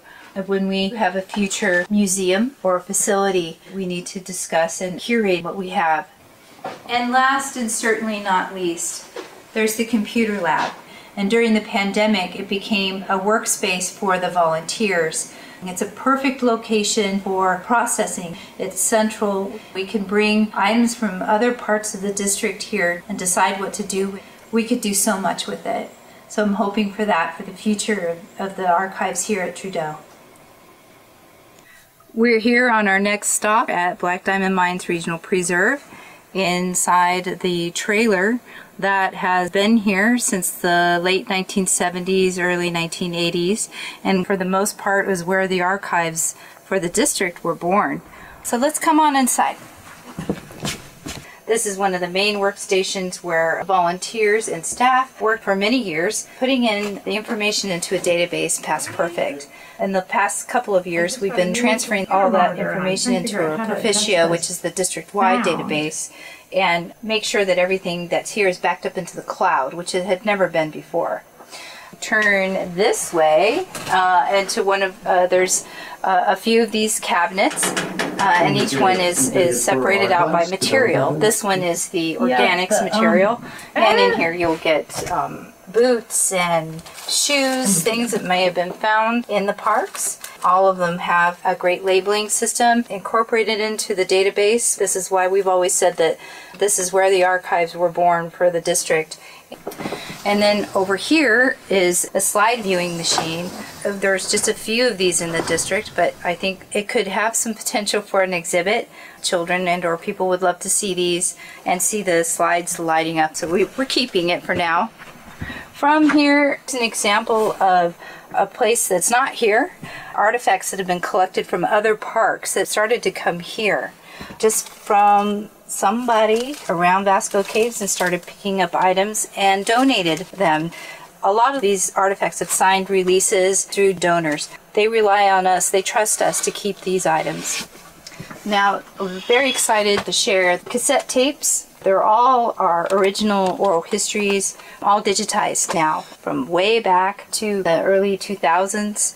That was a project that the Archives Department had first worked on, so we're very excited that those are digitized. So here's another one of these artifact cabinets. I'm going to just pull this over here. Show some of the metal objects that we have here, all identified and labeled. These are mostly artifacts that were found here at either the Nortonville or the Somersville town sites.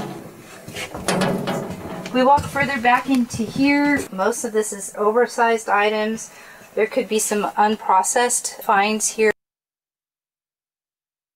Oh, I'm so sorry. and donations that still need to be entered into the systems.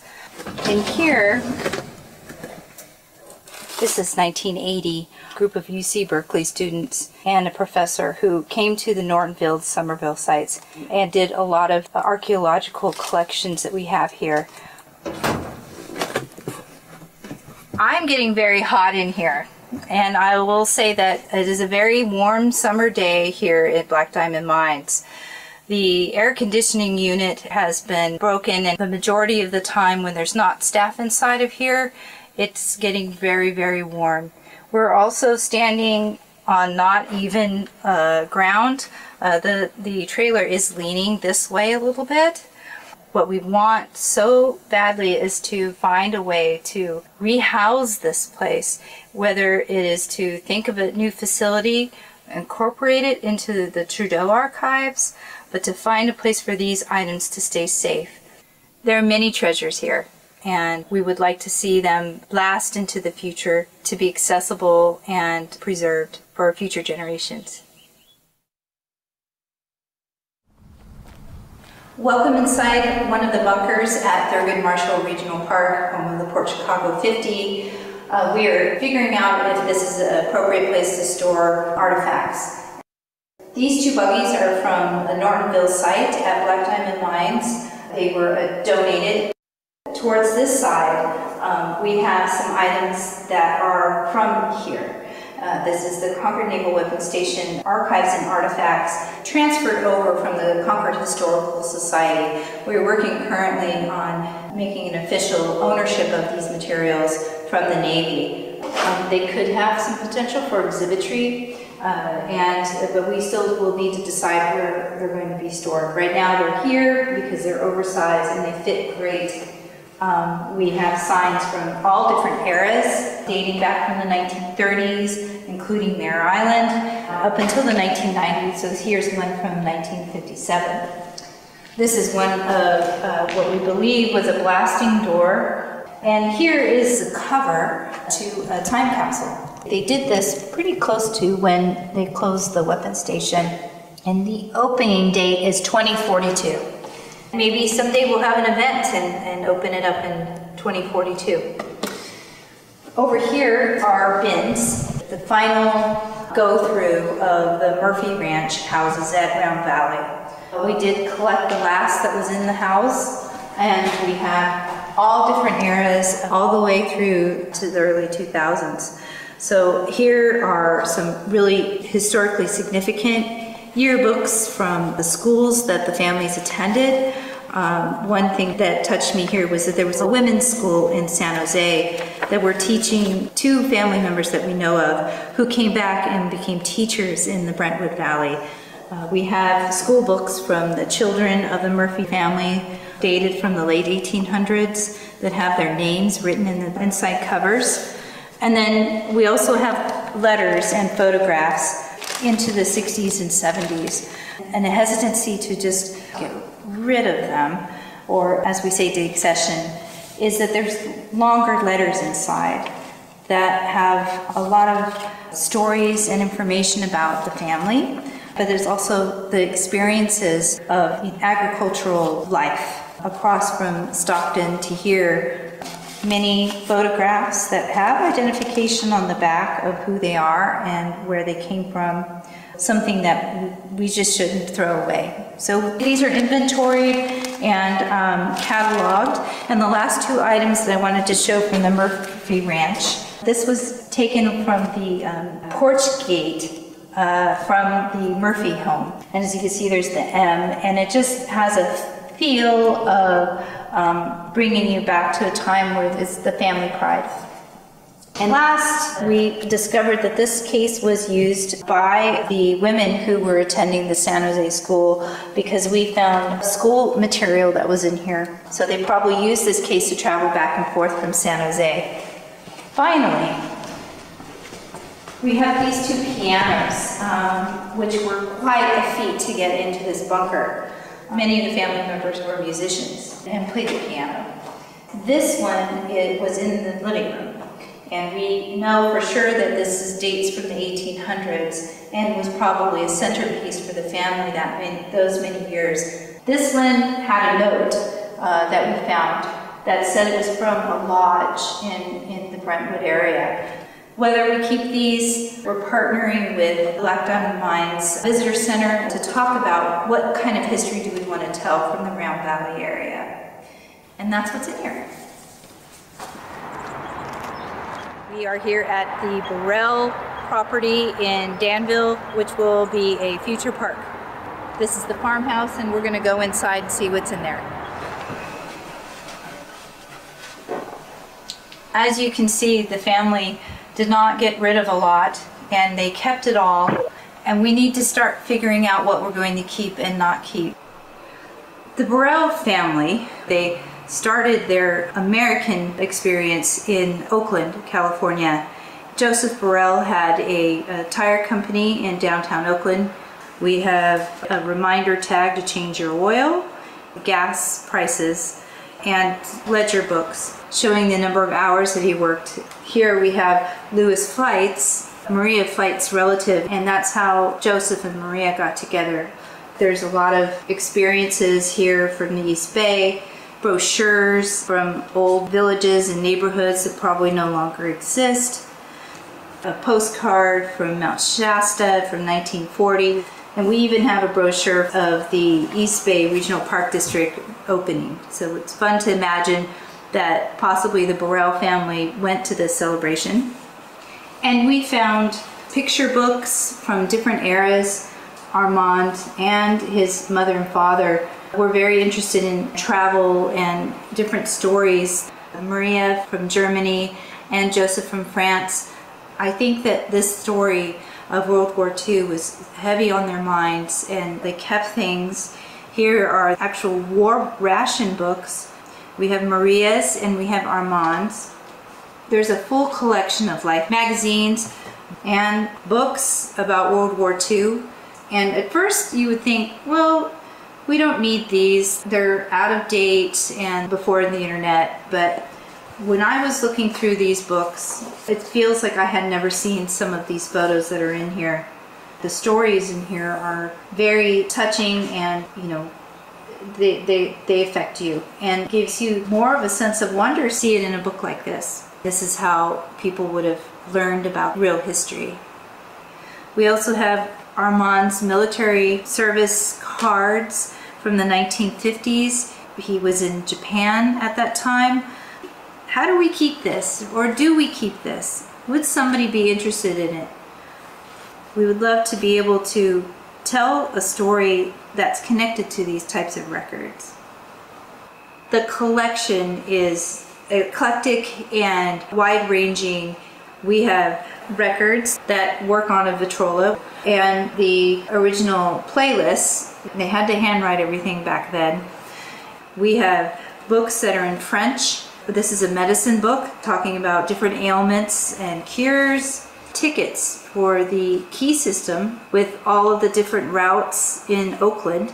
There's also a toy Golden Gate Bridge wood building blocks that was most likely one of Armand's toys and many little items that could be for display for an exhibit, but maybe not for the park district. I'm very excited to be a part of the visioning team or the group that's talking about what's going to happen here. And I'm hoping that the archives can help with calling through this material, keeping what we think is important about the history, and then finding new and better, even better homes for the material that we don't want. We are here at our last stop on the virtual tour, Sunol Visitor Center. Let's go inside. So we're inside the barn and this cabinet has collected many histories that the naturalists have used for years in their programs. Photographs, family memorabilia about the former ranch owners, the Brinkers and the Gearys and other family here in Sunol. There's also some recordation of what databases Sunol has kept. So a pretty old fireproof cabinet.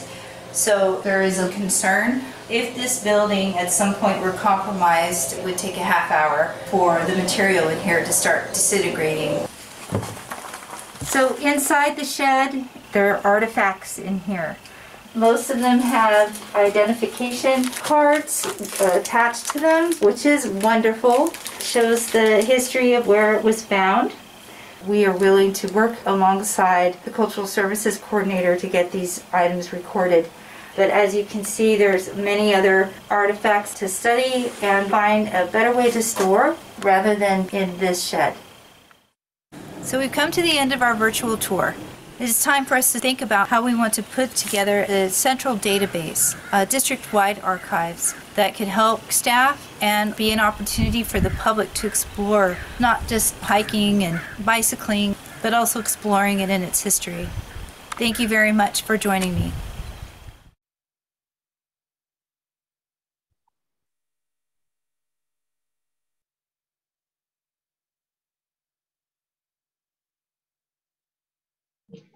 Well, so I'm sorry. I'm going to go uh, uh, right into the uh, presentation of the uh, slides, and these are for the uh, um, report recommendations for the needs assessment.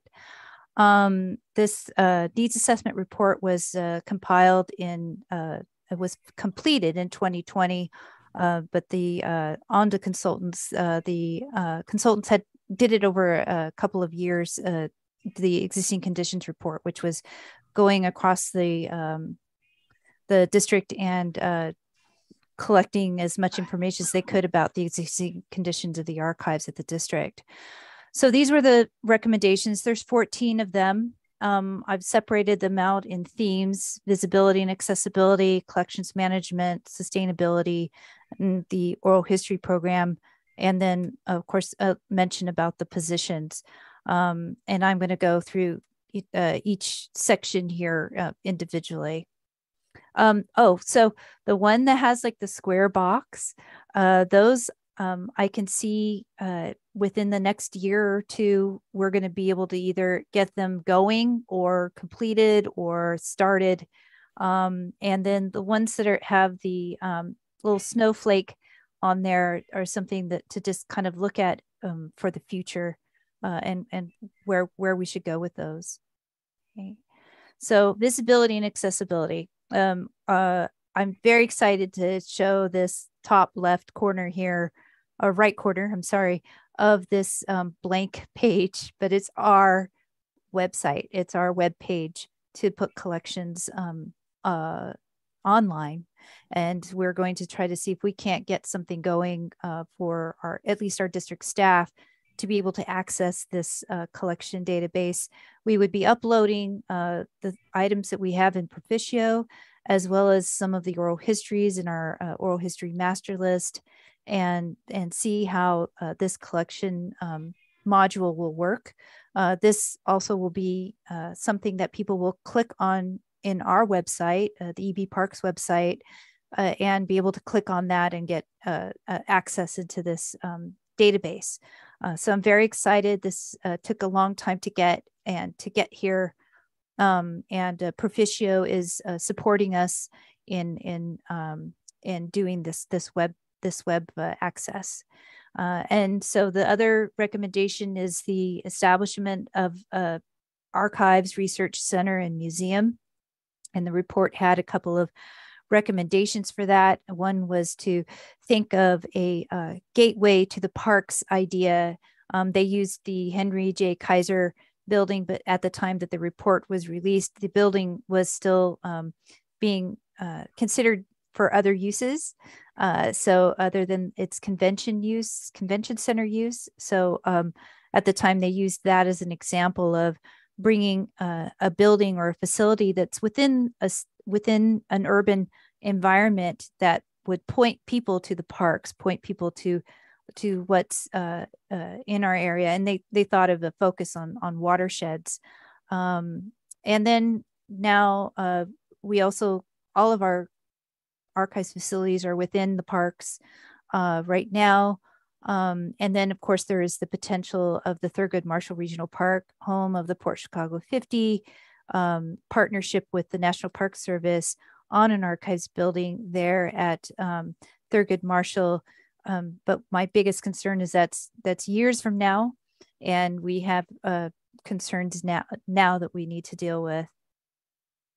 Um, and as far as collections collections management, uh, we are in the middle of working on a record schedule. Uh, it was really helpful to recently review a draft um, records retention policy that uh, the clerk of the board and district counsel are working on so that I can have a better idea. I've also was able to provide um, some input uh, on the policy. So I was really excited about that. And um, uh, grateful that they they asked me and I and accepted some of my comments. Um, so what we're trying to do is find a way to uh, communicate to to field staff to our staff about some of the issues that they have. There you see these pictures around here. These are actually boxes of artifacts and and records and things that are hanging out in different facilities across the uh, park district, and we'd really like to be able to help um, staff uh, do that. Uh, one of the other recommendations is assigning staff at each visitor center or department that would actually be part of our connection to um, uh, make sure that records come to the archives and or we can help with some of the records that they need to to cull through. Um, and then uh, there is the uh, recommendation to have a district-wide plan to manage historic structures. I think that that will probably be something to partner with Anna Marie uh, Guerrero, who's in the picture above, and of course with stewardship and planning, um, as uh, this is something that they're that is there more on their focus. And then um, there's the sustainability, and uh, in the top right corner uh, image is the map of the Trudeau Center uh, bottom floor and where the uh, archives are located in the light blue, and in the computer lab where the areas that we have been using recently. Um, due to the pandemic, um, the computer lab, and of course prior to the, the pandemic, the computer lab was uh, having less and less use. Um, a lot of uh, virtual access is, is um, has caused it to be a, a little bit less necessary for people to gather and come to use computers in a computer lab. Um, however, we're still continuing to work with IS and facilities management on um, on our space needs there. But we have some, you know, great um, resources. There is a, an oda project uh, that's with the archives that has a, a, good amount of money and resources for for us. Um, there, we're constantly, in fact, after the virtual tour, we actually went through the um, magazine or bunker. I like to call it a bunker. I don't know why. But uh, we went through and uh, cleaned up the bunker, um, fixed some wire meshing that was uh, uh damaged uh, on the ceiling here, that there were droppings coming out, moved the buggies so they weren't directly underneath it, um, and uh, cleaned up and um, scooted out a family of a mom and dad and three little mice um, and since we've done that, we've not seen any rodent um, rodents return um, I think it was, we just had a lot of organic material laying around since we've since um, gotten rid of. And we are uh, really wanting to uh, work closely with the IS department and make sure that they know um, our concerns for digital material. Um, that's not only the stuff that we scan um, and that we have electronic records of, and that includes, you know, the oral history interviews, which are, you know, huge files. Um, and but that's also the born digital material, the all the graphics and and um, reports and and records that are being created that don't ever see paper anymore. So you know, like it's it's it's talking about that. It's talking about how we're going to to deal with those those records um, as we move into the future, and as well as you know when the the policy for the um, records retention schedule comes, um, how are we going to um, manage what we scan uh, and um, uh, and shred and and stuff. So what how things are going to be kept, and you know ultimately a disaster preparedness. Uh, last night um, I was here putting away hard drives and shoving them in um, the uh, fireproof cabinets here, just uh, doing my own uh, little uh, disaster preparedness just in case uh, of because of the heat and um, uh, you know the the fire threats that are that are currently going around here. So um, definitely would like to go um, explore that in the future. Um, success story, the oral history program were um, were well funded, and I thank the um, uh, board of directors and um, our management staff for for supporting that and and getting the uh, appropriate uh, amount of budget money in there. I feel really good about that this year. Um, we did a really uh, extensive interview with Doug McConnell, um, and we just recently interviewed Ruth Orta, who's here in this photo.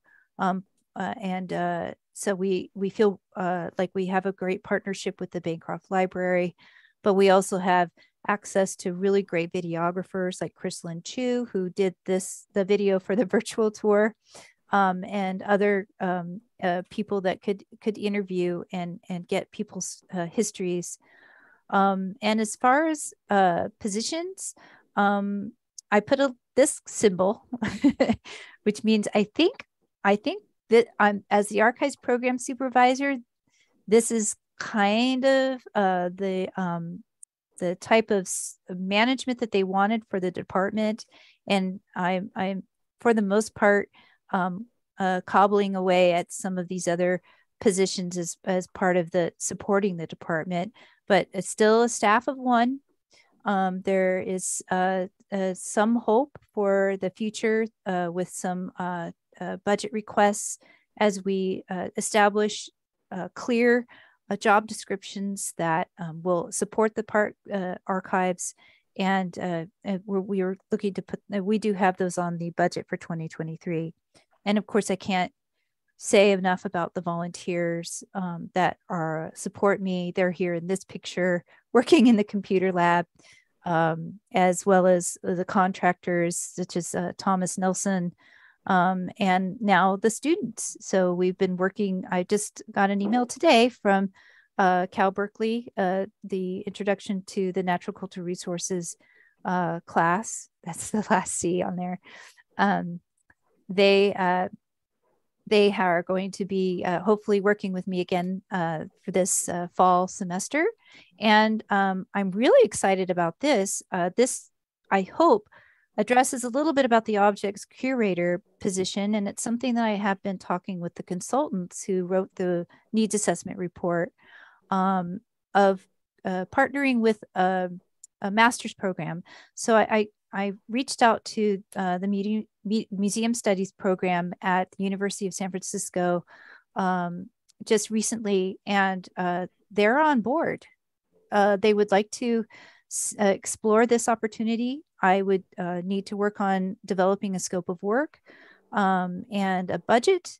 Uh, and maybe we could get some of these museum studies um, students, master's students, uh, in here and, and help with some of the curation. Um, uh, ideally, these uh, items that are in the garage, um, the Burrell uh, items and things like that to start determining their um, uh, either preservation uh, and uh, recordation, like actually getting them in a database and photographed. And then these are the additional considerations and um, just the status. I'm excited. I got the Archives and Cultural Resources Staff Advisory Group together this year. Um, and I thank everybody who's been in the uh, meetings and we need to have more meetings. Uh, I'm sorry, it, uh, um, I do need to plan one soon and I'd like to do that before our next um, uh, uh, committee meeting um, to discuss some of the things that we've done this year or looked at. Uh, and one was looking at a, an oral history selection criteria document that is uh, something that came up earlier about trying to have more of a policy towards um, how we select our oral histories. And um, and another success we're we're on um, the online archives of California we're um, on Internet Archives and we um, received that grant through California Revealed. So we're trying to get uh, some type of presence on the web. It's it's tiny, but it's a start. Um, and then, of course, uh, we're looking at other um, online software services like Preservica and ArchivesSpace, which are both uh, in the report. Um, and they're both um, uh, uh, online services that uh, nationwide they're they're um, they're highly supported and there's a lot of people connected into those um, softwares and then also the support on the district-wide records retention policy. So we've reviewed a draft of it. The archives were, had the opportunity to do so. Um, so uh, and i also had discussions with the OMDA consultants. And the the two that are in the future are two issues that I hope some of this will resolve from the field trip video, uh, the field uh, virtual tour video, as well as um, some of the database items that we're trying to do. But the siloed park collections that we have so many collections uh, hidden away um, at, at, park sites in a shed at Sunol, uh, and and how are we making those accessible, not just to, um, not so that they're just for that naturalist staff that work at the visitor center, but could expand out to district wide and hopefully some of those items actually um, are accessible for the public as well. And then uh, they have also uh, a recommendation or a consideration about our uh, too many tractors. Um, there are a lot of uh, field and farm equipment uh, out there uh, in our parks and um, how are we working on those preservation needs. I think that might also fall under um, some of the issues that we have at, at the Burrell property.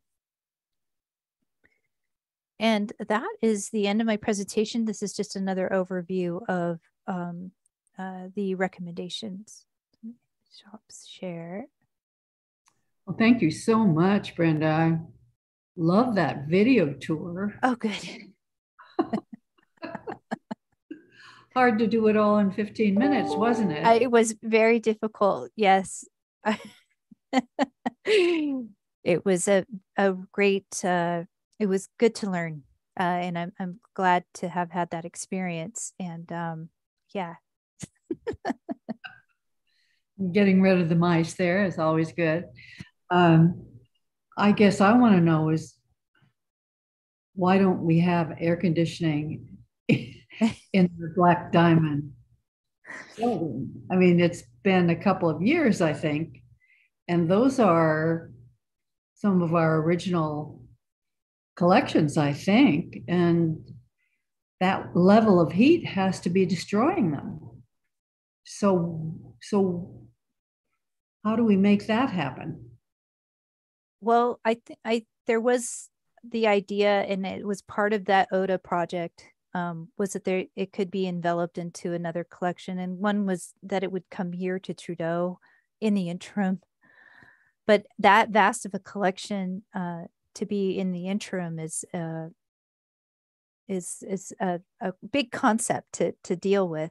Um, the other there is a there is an air conditioning unit there at the trailer, but it doesn't work very well, um, and it's um, and it's also reliant on power so if the power goes out, that goes out. And um, uh, I understand even here at Trudeau, we had a power outage this weekend. So I don't know for how long or or what have you, but we do we do have that issue that um, the majority of our sites do not have any backup generating power either. Yeah, but I mean, this is this has been years. yes. I, I, don't really understand that. Uh, yeah. I I just think that's bizarre. Um, well, and I I appreciate this report so much, and I I think um, we need to figure out some way to um, uh, have the rest of the board see this video. Um, Colin, do you have any suggestions about how, how that can get shared with the rest of the board? Brenda, it looked to me like you had it on YouTube. I do. Yes. Yeah, so she needs to only um, send a link to us to the YouTube site. Okay. And would and that would be just available to us, right? Not to the public. Yeah, so um it's Or it's on should it an be un, available to the public. it's on an unlisted channel and I did film it so that the locations were general enough that no one would really know like no one's going to know what bunker to or magazine to go to at uh, Thurgood Marshall um, and we tried to make you know some of the other areas generic enough um, that people wouldn't know specifically where these locations are um, so but I it's definitely unlisted uh, on on my YouTube channel so uh, I could share it and it could just go to the board for now if you would like. And then if it need, I think because this is a public meeting, I should be okay to share to the public. I'm not sure. Oh yeah, yeah, I do that. I if I if, if we've discussed at a meeting an issue someone's interested in, I'll send them a link to the YouTube site. Correct. Yes. And that's that's very public. So yes.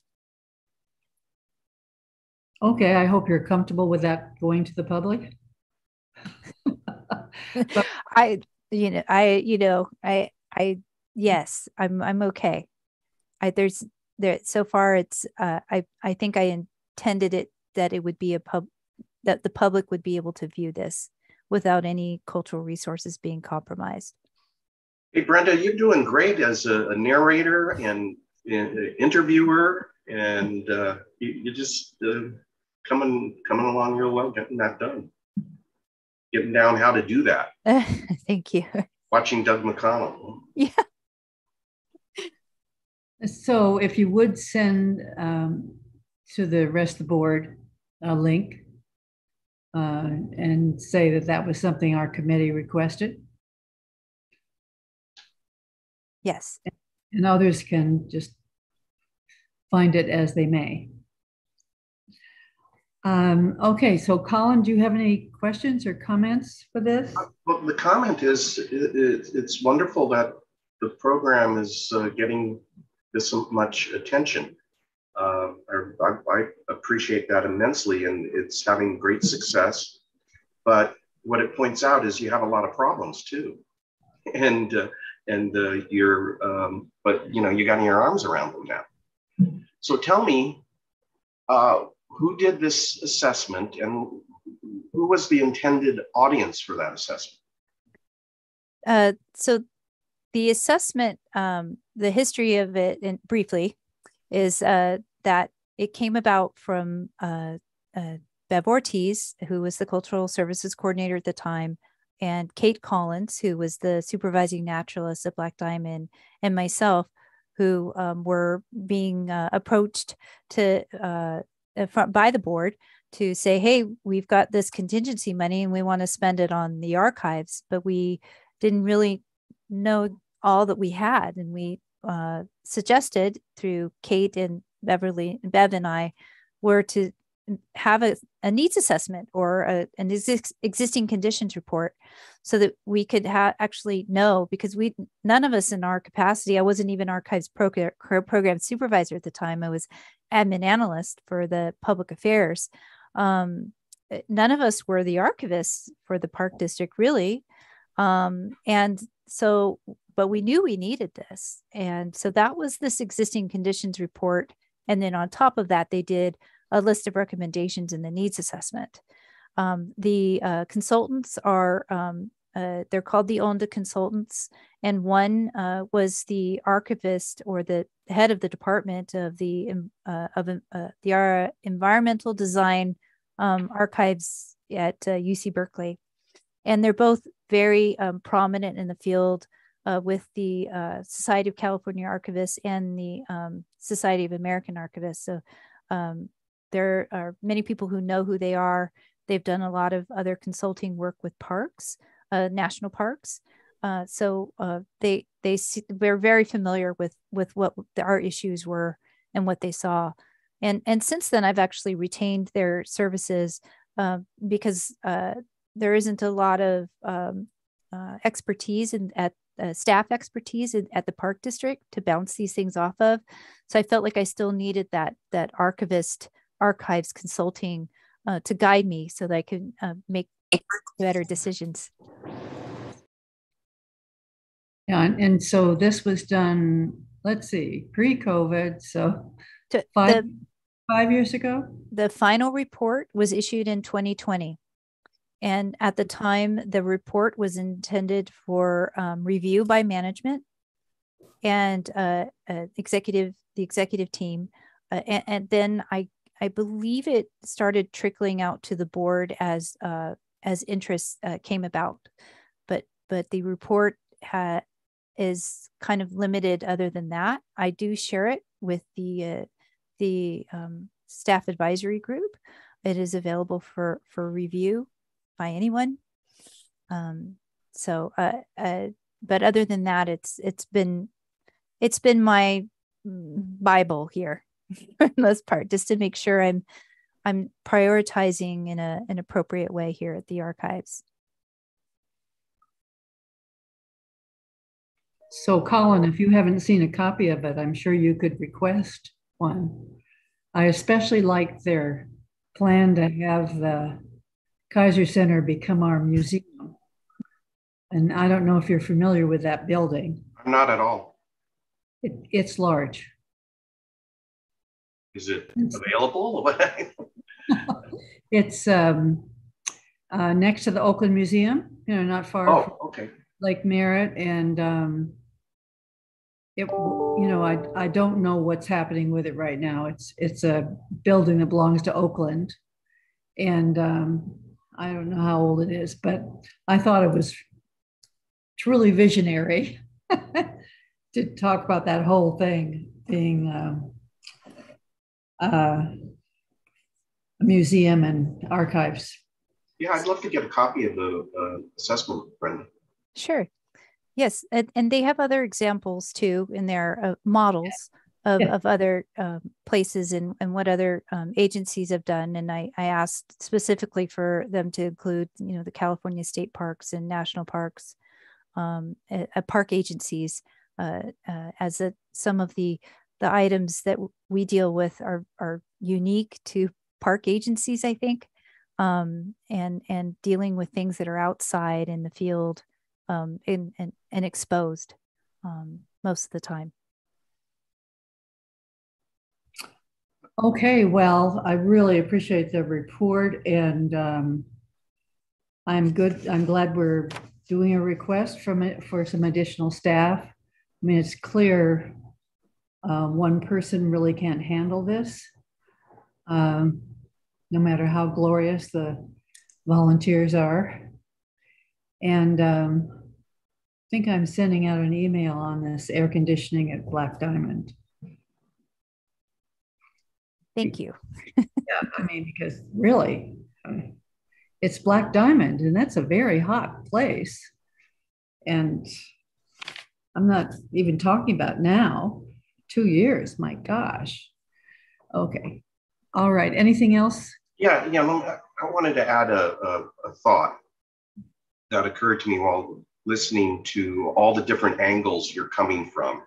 You know, you got your physical materials, you've got your uh, things that are transcripts, you got uh, photos, you, you're just coming at this with all sorts of different directions, and you're figuring out how to make it available to the public, either in a museum setting or an online setting.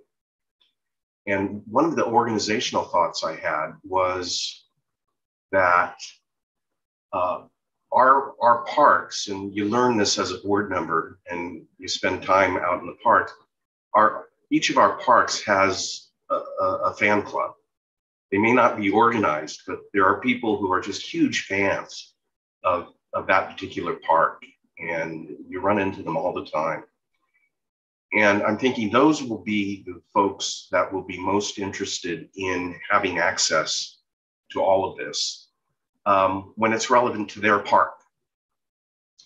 And we have parks like Tilden with tremendous history. And Tilden has a tremendous fan base.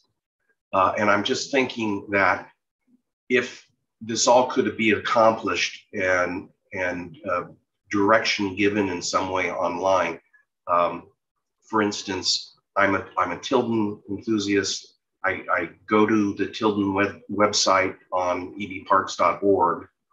Someday there ought to be a little place to click to get to the Tilden based history, that resources that we have. And uh, it's just an organizational thought. And of course, you know, where, where there are visitor centers, uh, there, there should be a lot of thought given to the museum concept that visitors centers uh, can provide. Certainly that uh, exists at Tilden. Um, the other is thought that came to mind is um, Brian, who I think is here, I saw him on there, um, told us yesterday in relation to the uh, Director Lane's question about um, name, naming trails and uh, whether Native American uh, names can be given to trails. Uh, it can, but how and when and how, how we are sensitive to that issue. But during that discussion, Brian said we have a tremendous record with each park uh, as to their Native American histories. And we keep that, there's a lot of sensitive information there that we keep to ourselves. But it occurs to me that that, you know, that that's been curated in the, with the, this would be something Anna Maria would have most knowledge about, I guess. But um, again, think in relationship to specific parks of creating access to the Native American history that is relevant to that park. Um, we learned during the uh, Naval Weapons Station naming process about the Chupcan. I learned a lot about the Chupcan during that process. And uh, that, that I didn't know before and it was relate in relation specifically to that park that uh, spurred that interest and uh, my learning about it. Uh, so that kind of connection per park should also be thought about. So th those are just two thoughts that came to mind. And lastly, there is um, one uh, one thing I've been concerned about for years, and um, I don't know that I've talked to Jim O'Connor about it on a number of occasions I don't know if I ever talked to you about it, but I'm, i have you here, so I'm just going to take a, a, minute. And that is, you recall back when you toured the Port Costa Brickyard, there's that brick mural just out in the open, deteriorating. And I don't know who can, can do something about that, but that thing needs to be preserved. And uh, I, I, I, don't know who, who, exactly to talk to, but maybe you are. Uh, in the vicinity of that discussion because you know what I'm talking about. Yes, I do. I do. And we tried to uh, uh, find the history of that uh, mural. And uh, we, when we talked to Chuck Messina, he said he doesn't even recall that mural existing when the factory was there. So I'm curious about that too. Um, it might have to take some more digging about um, how that um, mural came there. Um, as we we still are kind of in a, a, murky place about where where it came from and what what it was symbolizing. Um, but um, I agree, it's uh, it's a beautiful mural, um, and I I you know my I mean, because I'm a, a, department of one, I, I mean, partnerships are always my thing, or trying to reach out and see um, who might be interested in it um, other than the park district um, on on helping to get it restored. So terrific, thanks. It's just a personal interest. Yeah, yeah. Thank you. That's it, uh, Beverly. Okay, thank you. And wonderful presentation. Thank you. Thank you very much for your time. There's there's much more we could do, but we better move on. Thank you so much for preparing this and for sending that um, video to people. Thank you, Director Lee. All right. Um, and Sabrina, are there any public comments on this um, item?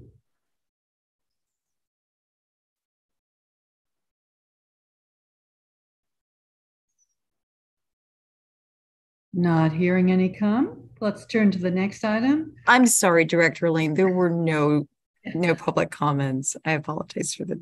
I, I thought that was pretty likely. Okay, so let's look at the, an update on Anthony Chabot's former uh, gun club and the remediation that um, is being planned. That would be uh, Matt. Yeah, Director Lane. Yes, Director Lane. Um, okay. I'm here. I'm getting. I'm trying to pull the slides up.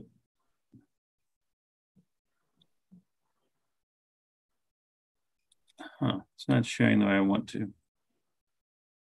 Okay, I think this will work. Here we go.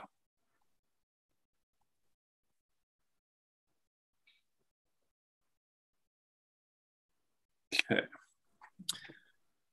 All right, thank you, um, members of the committee. It's Matt Graul, Chief of Stewardship, and I'm here today with uh, Michelle King, uh, one of our consultants from EKI, who's been um, conducting the, the site investigation for the Chabot Gun Club and the former Chabot Gun Club, former Anthony Chabot Marksmanship Range, um, also called the Chabot Gun Club, uh, as they were the operator of the range for many years. Um, but today we're going to give you an update on that site, um, and, um, and, we're running a little bit short on time um, just because we're late on a little bit late on the agenda. So I'm going to run through some of this quickly because I believe Michelle's going to have to leave soon. So Michelle's going to do what she can before she has to leave, and then I'll, I'll finish it up. But but we're going to talk about a background, a little bit of background on the gun club, because I believe this site was closed um, before Director Coffey was on, on the board of directors. So I'm going to talk a little bit about some of the history, results of the ongoing uh, site invest or the results of the completed site investigation and the next steps for the ecological risk assessment that needs to be conducted and the human health risk assessment. And then that will lead into a feasibility study and a remedial action plan for this site. Just FYI, Matt, I was serving on the PAC and, and attended a lot of meetings on the gun club at the PAC that's a good reminder. Thank you. Um, so I, I, I know the history. Okay, good. And yeah, and the PAC was very involved in some of those um, actions. So you do have a good background. So thanks for that um, part. So yeah, so the, the range though was was started in 1963 in cooperation with the Oakland Pistol Club. Then the, the district had a long-term lease with the Chabot Gun Club for 25 years. And then we looked to renew that lease we did there was a short-term renewal and then we looked at the long-term renewal and and during that we really realized in order to keep operating this we would need to have a stormwater treatment system because in about 2008 the water board investigated the site and said to keep operating a gun club here you need to have an industrial stormwater permit and have it um, the site managed under that industrial stormwater permit and so we, we were doing that from 2008 and we looked at renewing the lease. We were looking at what it was going to take to continue operating that. And, and under that industrial permit, we were um, very close to being required to put in a treatment system. And so we even budgeted for that treatment system. Even with the club being closed, we were planning to implement that treatment system.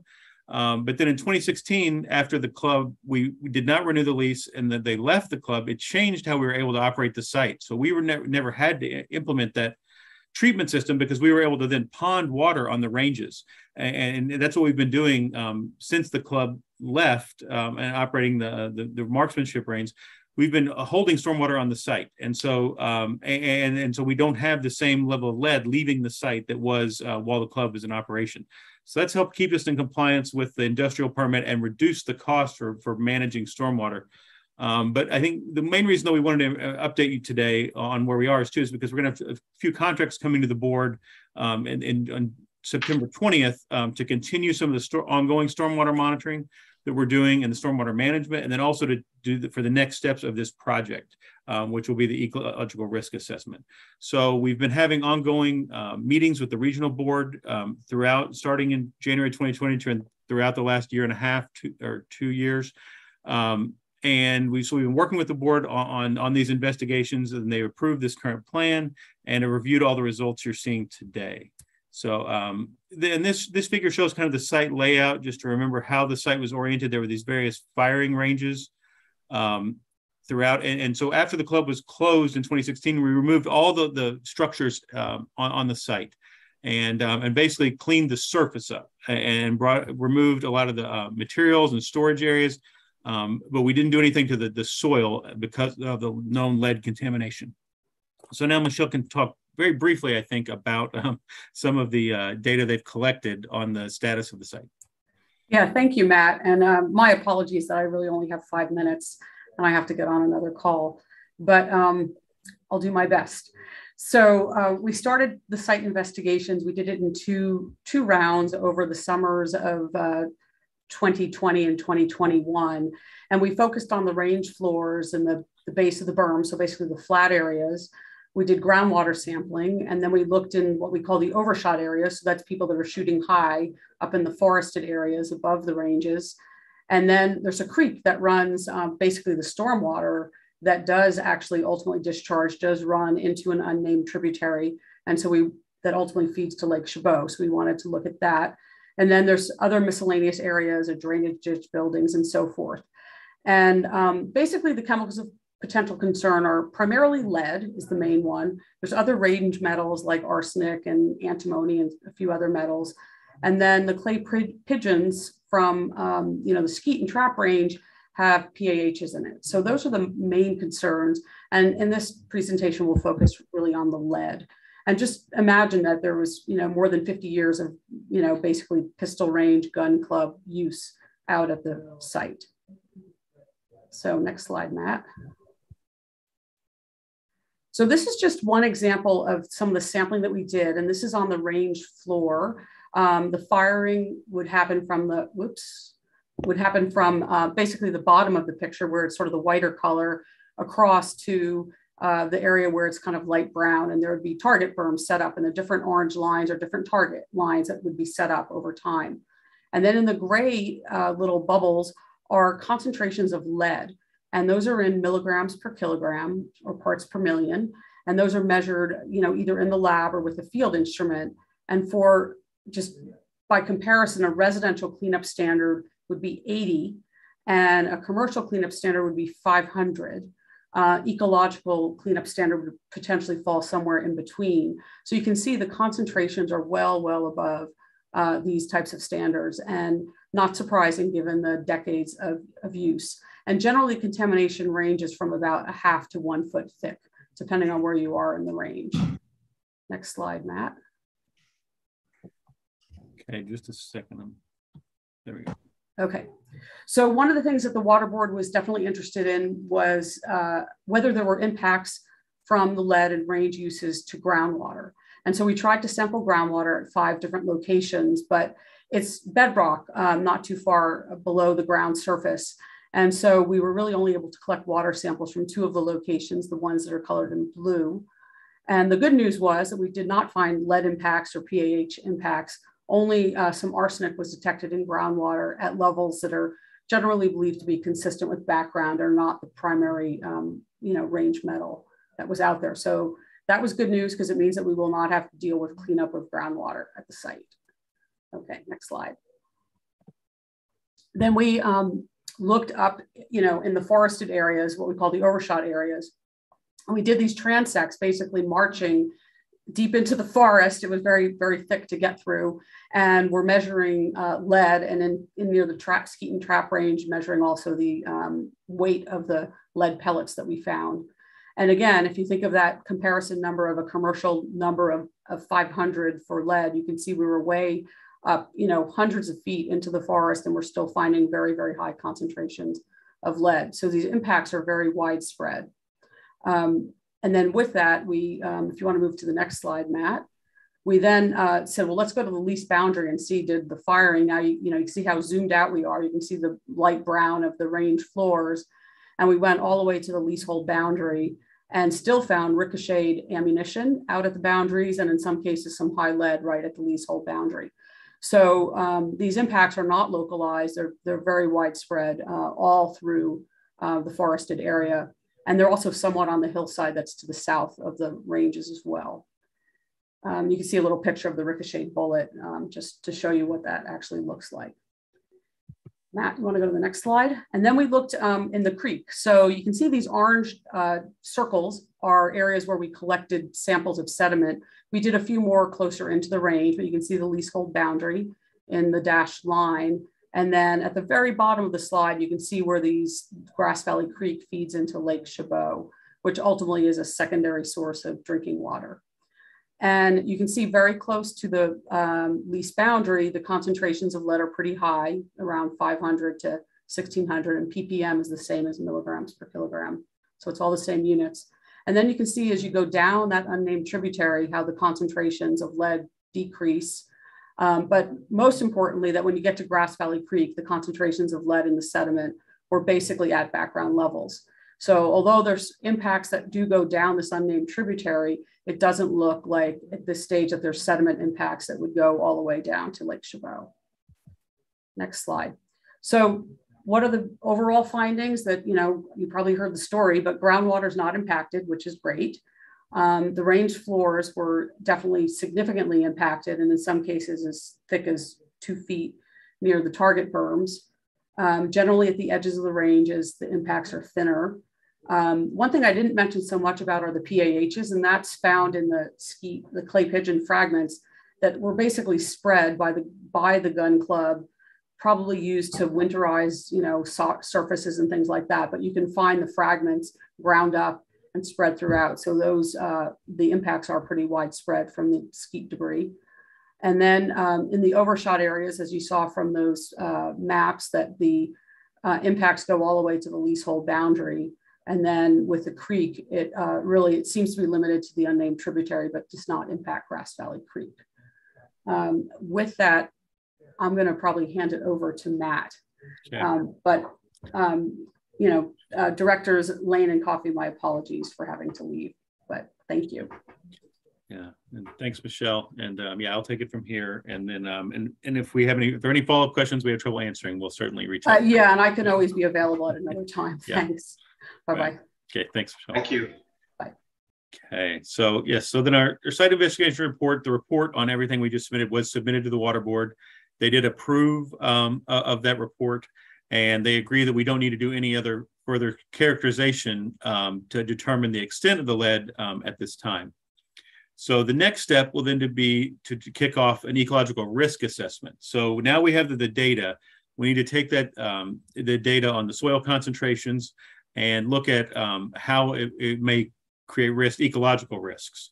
And so the ecological are going to really be the driver for remediation and not necessarily human health, um, because we really have to make sure that we're not going to have um, long ongoing impacts to the environment um, first. Um, and so that will be the draft ERA work plan. Uh, is currently it's under internal review. We're planning to submit that to the water board very soon and get their approval.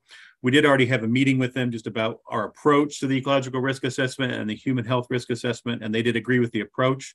So um, we just need to get them the technical details of that uh, study plan and uh, and then get their approval. Uh, but then after we do that ecological, some of this will be happening in parallel, but uh, then we'll also be doing a human health risk assessment. And so this will um, calculate the risk-based remedial goals that will be used to establish the cleanup levels for the site contaminants to make sure we're protective of human health.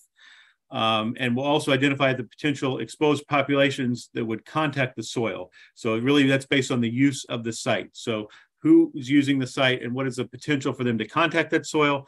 And if they did, then what is the risk of that exposure? So, and how can we limit that exposure? So that information will, will be used to develop, to do, feed into a feasibility study and a remedial action plan that um, basically the, the, the triggers we evaluate in the human health risk assessment and the ecological risk assessment, or the, or the risk I should say associated with that lead, will be used to um, make sure we put in controls and um, and methods in place to make sure that the future use of that site doesn't allow um, humans to come into contact with that uh, those high uh, lead concentrations. So there's a variety of, uh, of methods that could be used, but it really depends on the site conditions um, in each location on what we choose to use. So there, um, but the feasibility study will help develop what those tools need to be um, as far as the remedial actions. So, so there's a wide range of remedial actions. Um, and then this next slide shows what some of those could be. Um, and so the so the potential remedial actions are removing soil and disposing off site. That'll be the most expensive. And in, and in some areas of the site, uh, on the upper areas of the ranges, and you saw in those forested areas, that's not really that's not going to be feasible. That's within the overshot areas and range eight. It's so vegetated and so um, hard to access those areas. Um, we're going to need to look at other methods in those areas, likely fencing and things like that. Um, also, um, the creek um, could be very expensive, and so we're going to have to assess the ecological risk of, of removing sediments in that creek with um, the, the amount of, of lead that's there and determine if that is, is a feasible action. It could be more damaging to, to remove the sediments in the creek to allow them to remain in place, but that will be something that we'll have to evaluate and, and have the water board make a determination on, on, on what we should do in that area.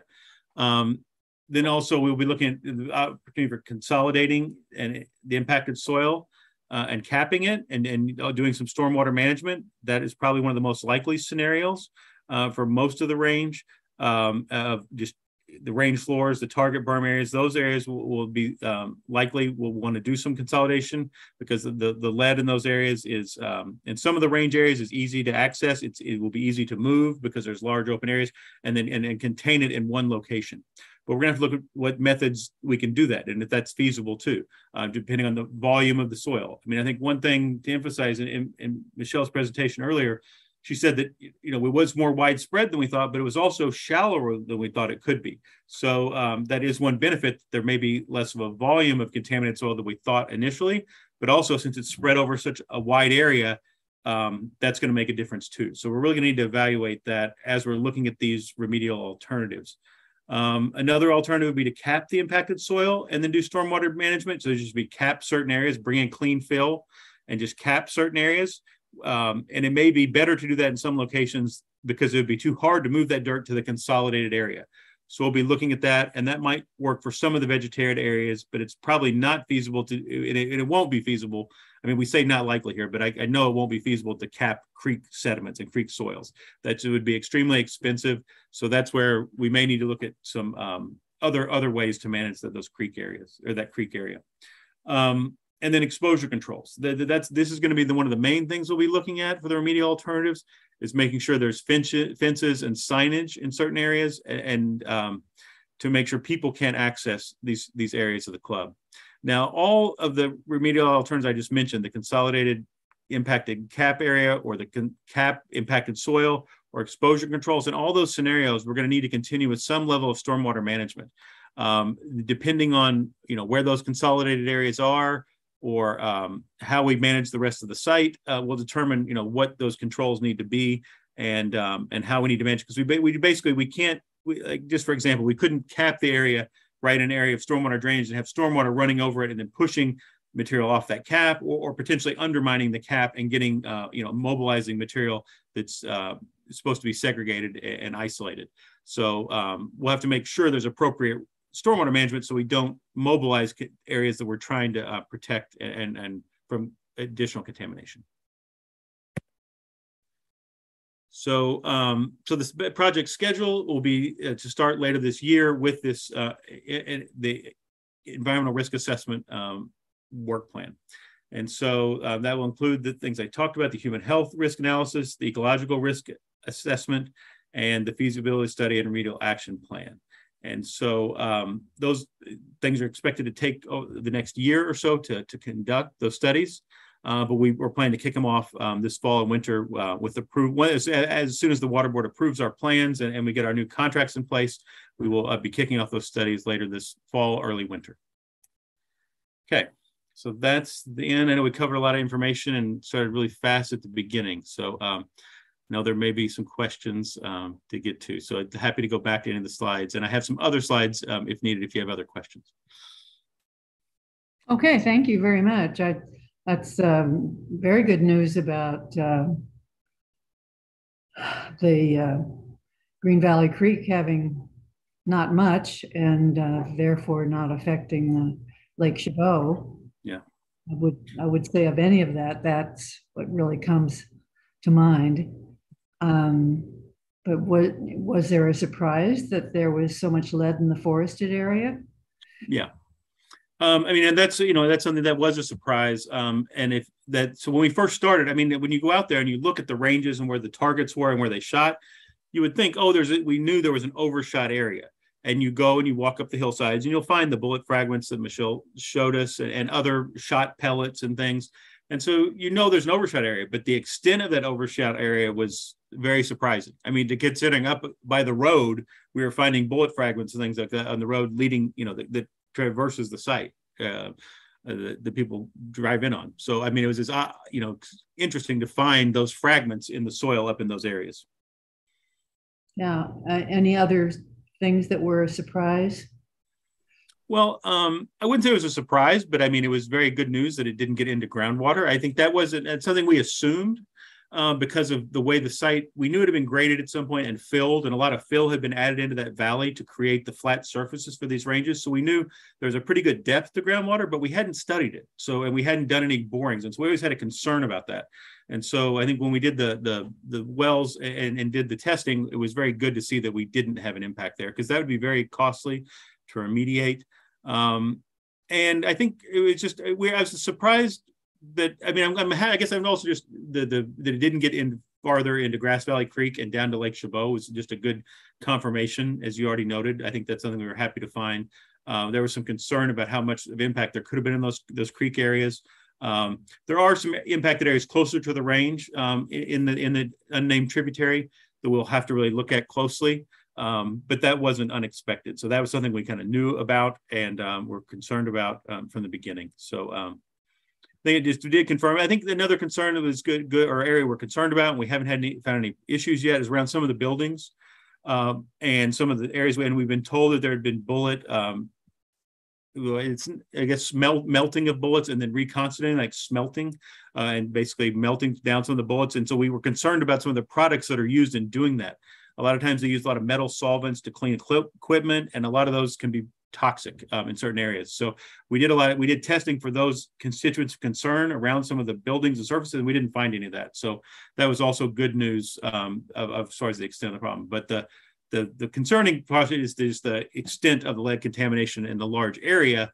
But um, but since some of those areas are lower concentrations, we may be able to use um, some alternate methods. But that's what we're going to have to really determine as we move forward with the ecological risk assessment. Uh, okay, uh, Colin, some comments or questions? Yeah, so what is the danger of the contamination in the overshot areas? Um, if, if it's not getting into groundwater or the local creeks, yeah, it, it, it the, the danger of the contamination to uh, fauna and flora are, is what? Um, well, that's, I mean, that's what we're going to have to evaluate in this next ecological risk assessment. But I think the concern is if you have these small particles, um, they could be potentially ingestible by birds or something, you know, that's something that's pecking on the ground and not noticing what they're necessarily eating or eating for okay. an insect and they eat a small pellet of lead. Uh, I think that'll be the main concern. So it's mainly about ingestion, I think, um, uh, would be the main concern about the lead particles themselves. Um, there is and so I mean that's what we're going to look at. I mean, there also there's a lot of lead in, in some of the trees, just in the trunks of the trees. Um, and so that's something we'll have to look at because those areas do need to be thinned in the future. So that may be more of a, a material management issue in the future. Um, but I think that's something we're concerned about um, just as far as we need to thin those trees. But as far as ecological risk, that won't create much risk because it's really in the trunk of that tree. It's not moving. Um, so it's really about the, the potential for organisms to ingest either the soil okay. contaminated or the lead particles that are the biggest concern. Um, but that's why we, we're looking through this risk assessment to determine, you know, how possible that is in, in certain areas. Okay, my only other potential question, for that. Yes. My only other question was, what is it physically when you refer to a cap? What is the cap physically? Uh, well, there are a wide variety of, of options. I mean, it can a cap can be just concrete, um, but uh, there also um, as similar at Point Isabel, there was a soil cap. So it was a clay cap about three feet of soil of uh, clay fill was placed um, over the areas at um, Point Isabel. So it's something like that is probably what we'll be leaning towards. but it really determines like on the volumes and the once we set up the cleanup standard, determine like all the numbers uh, or the amount we have to the amount of soil that has to be cleaned up to get to those target cleanup numbers is really going to determine how big that area needs to be, how big the consolidated area is, and then will help us inform what should the cap should be um, constructed um, of. I mean, likely, I mean, I think we would probably want to go for the soil vegetated cap. It'll just look better. It'll be easier to construct, but um, we may, in some areas, may have to do some other uh, impervious surface of potentially concrete or other um, decomposed granite type material that can um, create a more sealed layer. Um, so we'll be just evaluating that with the consultants on what the options could be. Okay, thank you. Good presentation. Appreciate it. Okay, well, thank you, and I'd be happy to answer any other questions. Um, we are going to plan to meet um, in the near future also um, with Director Waespi. This is in his ward. We want to keep him informed about what's been happening. Um, but, and so we will give him a, an update, um, but you can expect to see several contracts coming to the board um, on consent um, in, in, in, one of the next meetings um, in, uh, on, on, next steps for the, the, next steps of the investigation. Um, and we'll also need to be talking to the board in the near future about um, just land uses, potential land uses for the site, um, because that will really inform our ecological risk assessment. So we're discussing that now with Sabrina, and we'll be bringing that back to the board in the near future on um, just some of the land use considerations, because it, it's really going to inform how we do the risk assessment for human health based on what the, the future use of the sites could site could be. Yeah, well, I'm particularly interested in that because it is uh, a handsome site, you know, and and to make the decision that, you know, we wouldn't do camping or picnic tables or anything like that, I, I think is something we'll really want to think about. And, and I'd certainly, um, to Dennis to um, pay attention to that since he knows most of the, he knows the park so well. Right. Yeah, I mean, I think that's really gonna. I mean, those things will really drive the the cost. You know, so so the more we want to have these like human uses, like of camping, and so we have camping and picnicking, then we'd be looking at in that table I was showing the the human health standard and running to, or that Michelle referenced earlier, is it getting into a human health standard, a residential standard of cleanup. Um, and yeah. so that would be that we'd have to move the most soil and do the most consolidation to make it you know safe for full human use on a regular basis. Um, hiking through the area would be, you know, less risk and would re re require less remediation. Um, and if we were to use it for other more industrial uses of park operation and equipment storage, and people were there only a few times, a few hours a day, or things like that, it would be a lower level of cleanup. So, um, and in cost. And so we'll have to balance those um, options to determine what's the, the most feasible. Yeah. Yeah. Okay. Well, thank you very much. These are our initial steps toward figuring out how much it's actually going to cost us. Yeah. And we have um, seen some pretty large figures for the remediation for sure. Yeah, and and I, we're still thinking it's within those target numbers. I mean, I, I'm not going to say exactly now, but we're tens of millions is what we're looking at. Um, but I mean, it can be changed. I mean, it can be those costs can come down though based on the the use of the site and then how we can consolidate those these materials. But I mean, but if you go back, I mean, if I don't, I, am not going to put the presentation back up, but if that one off hauling everything would be extremely expensive. I mean, that's we say tens of millions, and it would push the limit of that, especially with the costs going up now for just moving materials and fuel costs. So um, there's going to need definitely need to be some level of consolidation on site because just to move everything that's contaminated off site would be virtually impossible. Really, really pricey. Yeah, extremely expensive. So, yeah. And, and there's also going to be significant staff time in managing this project. So, um, you know, we're, um, you know, co- coordinating now. I mean, keeping design and construction informed. We'll be having someone from design and construction joining our uh, team as we move through this risk assessment process and get more towards the feasibility study and remedial action plan. And, um, and, and we'll need ongoing support um, financial support to implement the pro, you know, to staff the work and to uh, uh, implement the, the, closure. Okay, so so definitely when you um, provide what the options are to the board, um, fold in that how much of uh, existing staff uh, time it will take, because I think that's a um, very interesting element to it. Yeah, it definitely does have some several interesting elements. Along with everything else. Um, Yep. Okay, thank you very much. Okay, um, thank you. Matt, and um, thank our consultant too. You know, we we really got uh, talkative at, at this board meeting. Yeah, a lot of exciting topics. We, we, we just piled them all on today. Yeah, very interesting meeting. Uh, no, we all had, very, Brenda had a great presentation and it was also Nature Check was another good stewardship item. So. Yeah. Okay, so uh, Sabrina, is there any public waiting to talk about this with us? There are no public comments at this time. No. All right, thank you. Um, and I'm assuming that refers to any general public comments. So now we're at board comments. And I do want to thank you for the IPM report. No, always, always interesting. Um, and I'm, I'm always pleased that it looks uh, so fine with uh, with good graphics and a, a, real, you know, the examples of case studies I thought were interesting too. Um, I did not find anything here that said um, who wrote the, you know, what staff were involved in writing it. Did I miss that when I was looking through?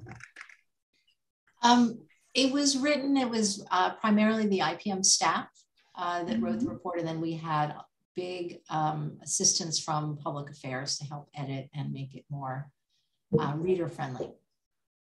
Yeah, um, I, I just I just think uh, since these do last a while to to say who who did the research and writing and graphics is in the document is is a helpful thing.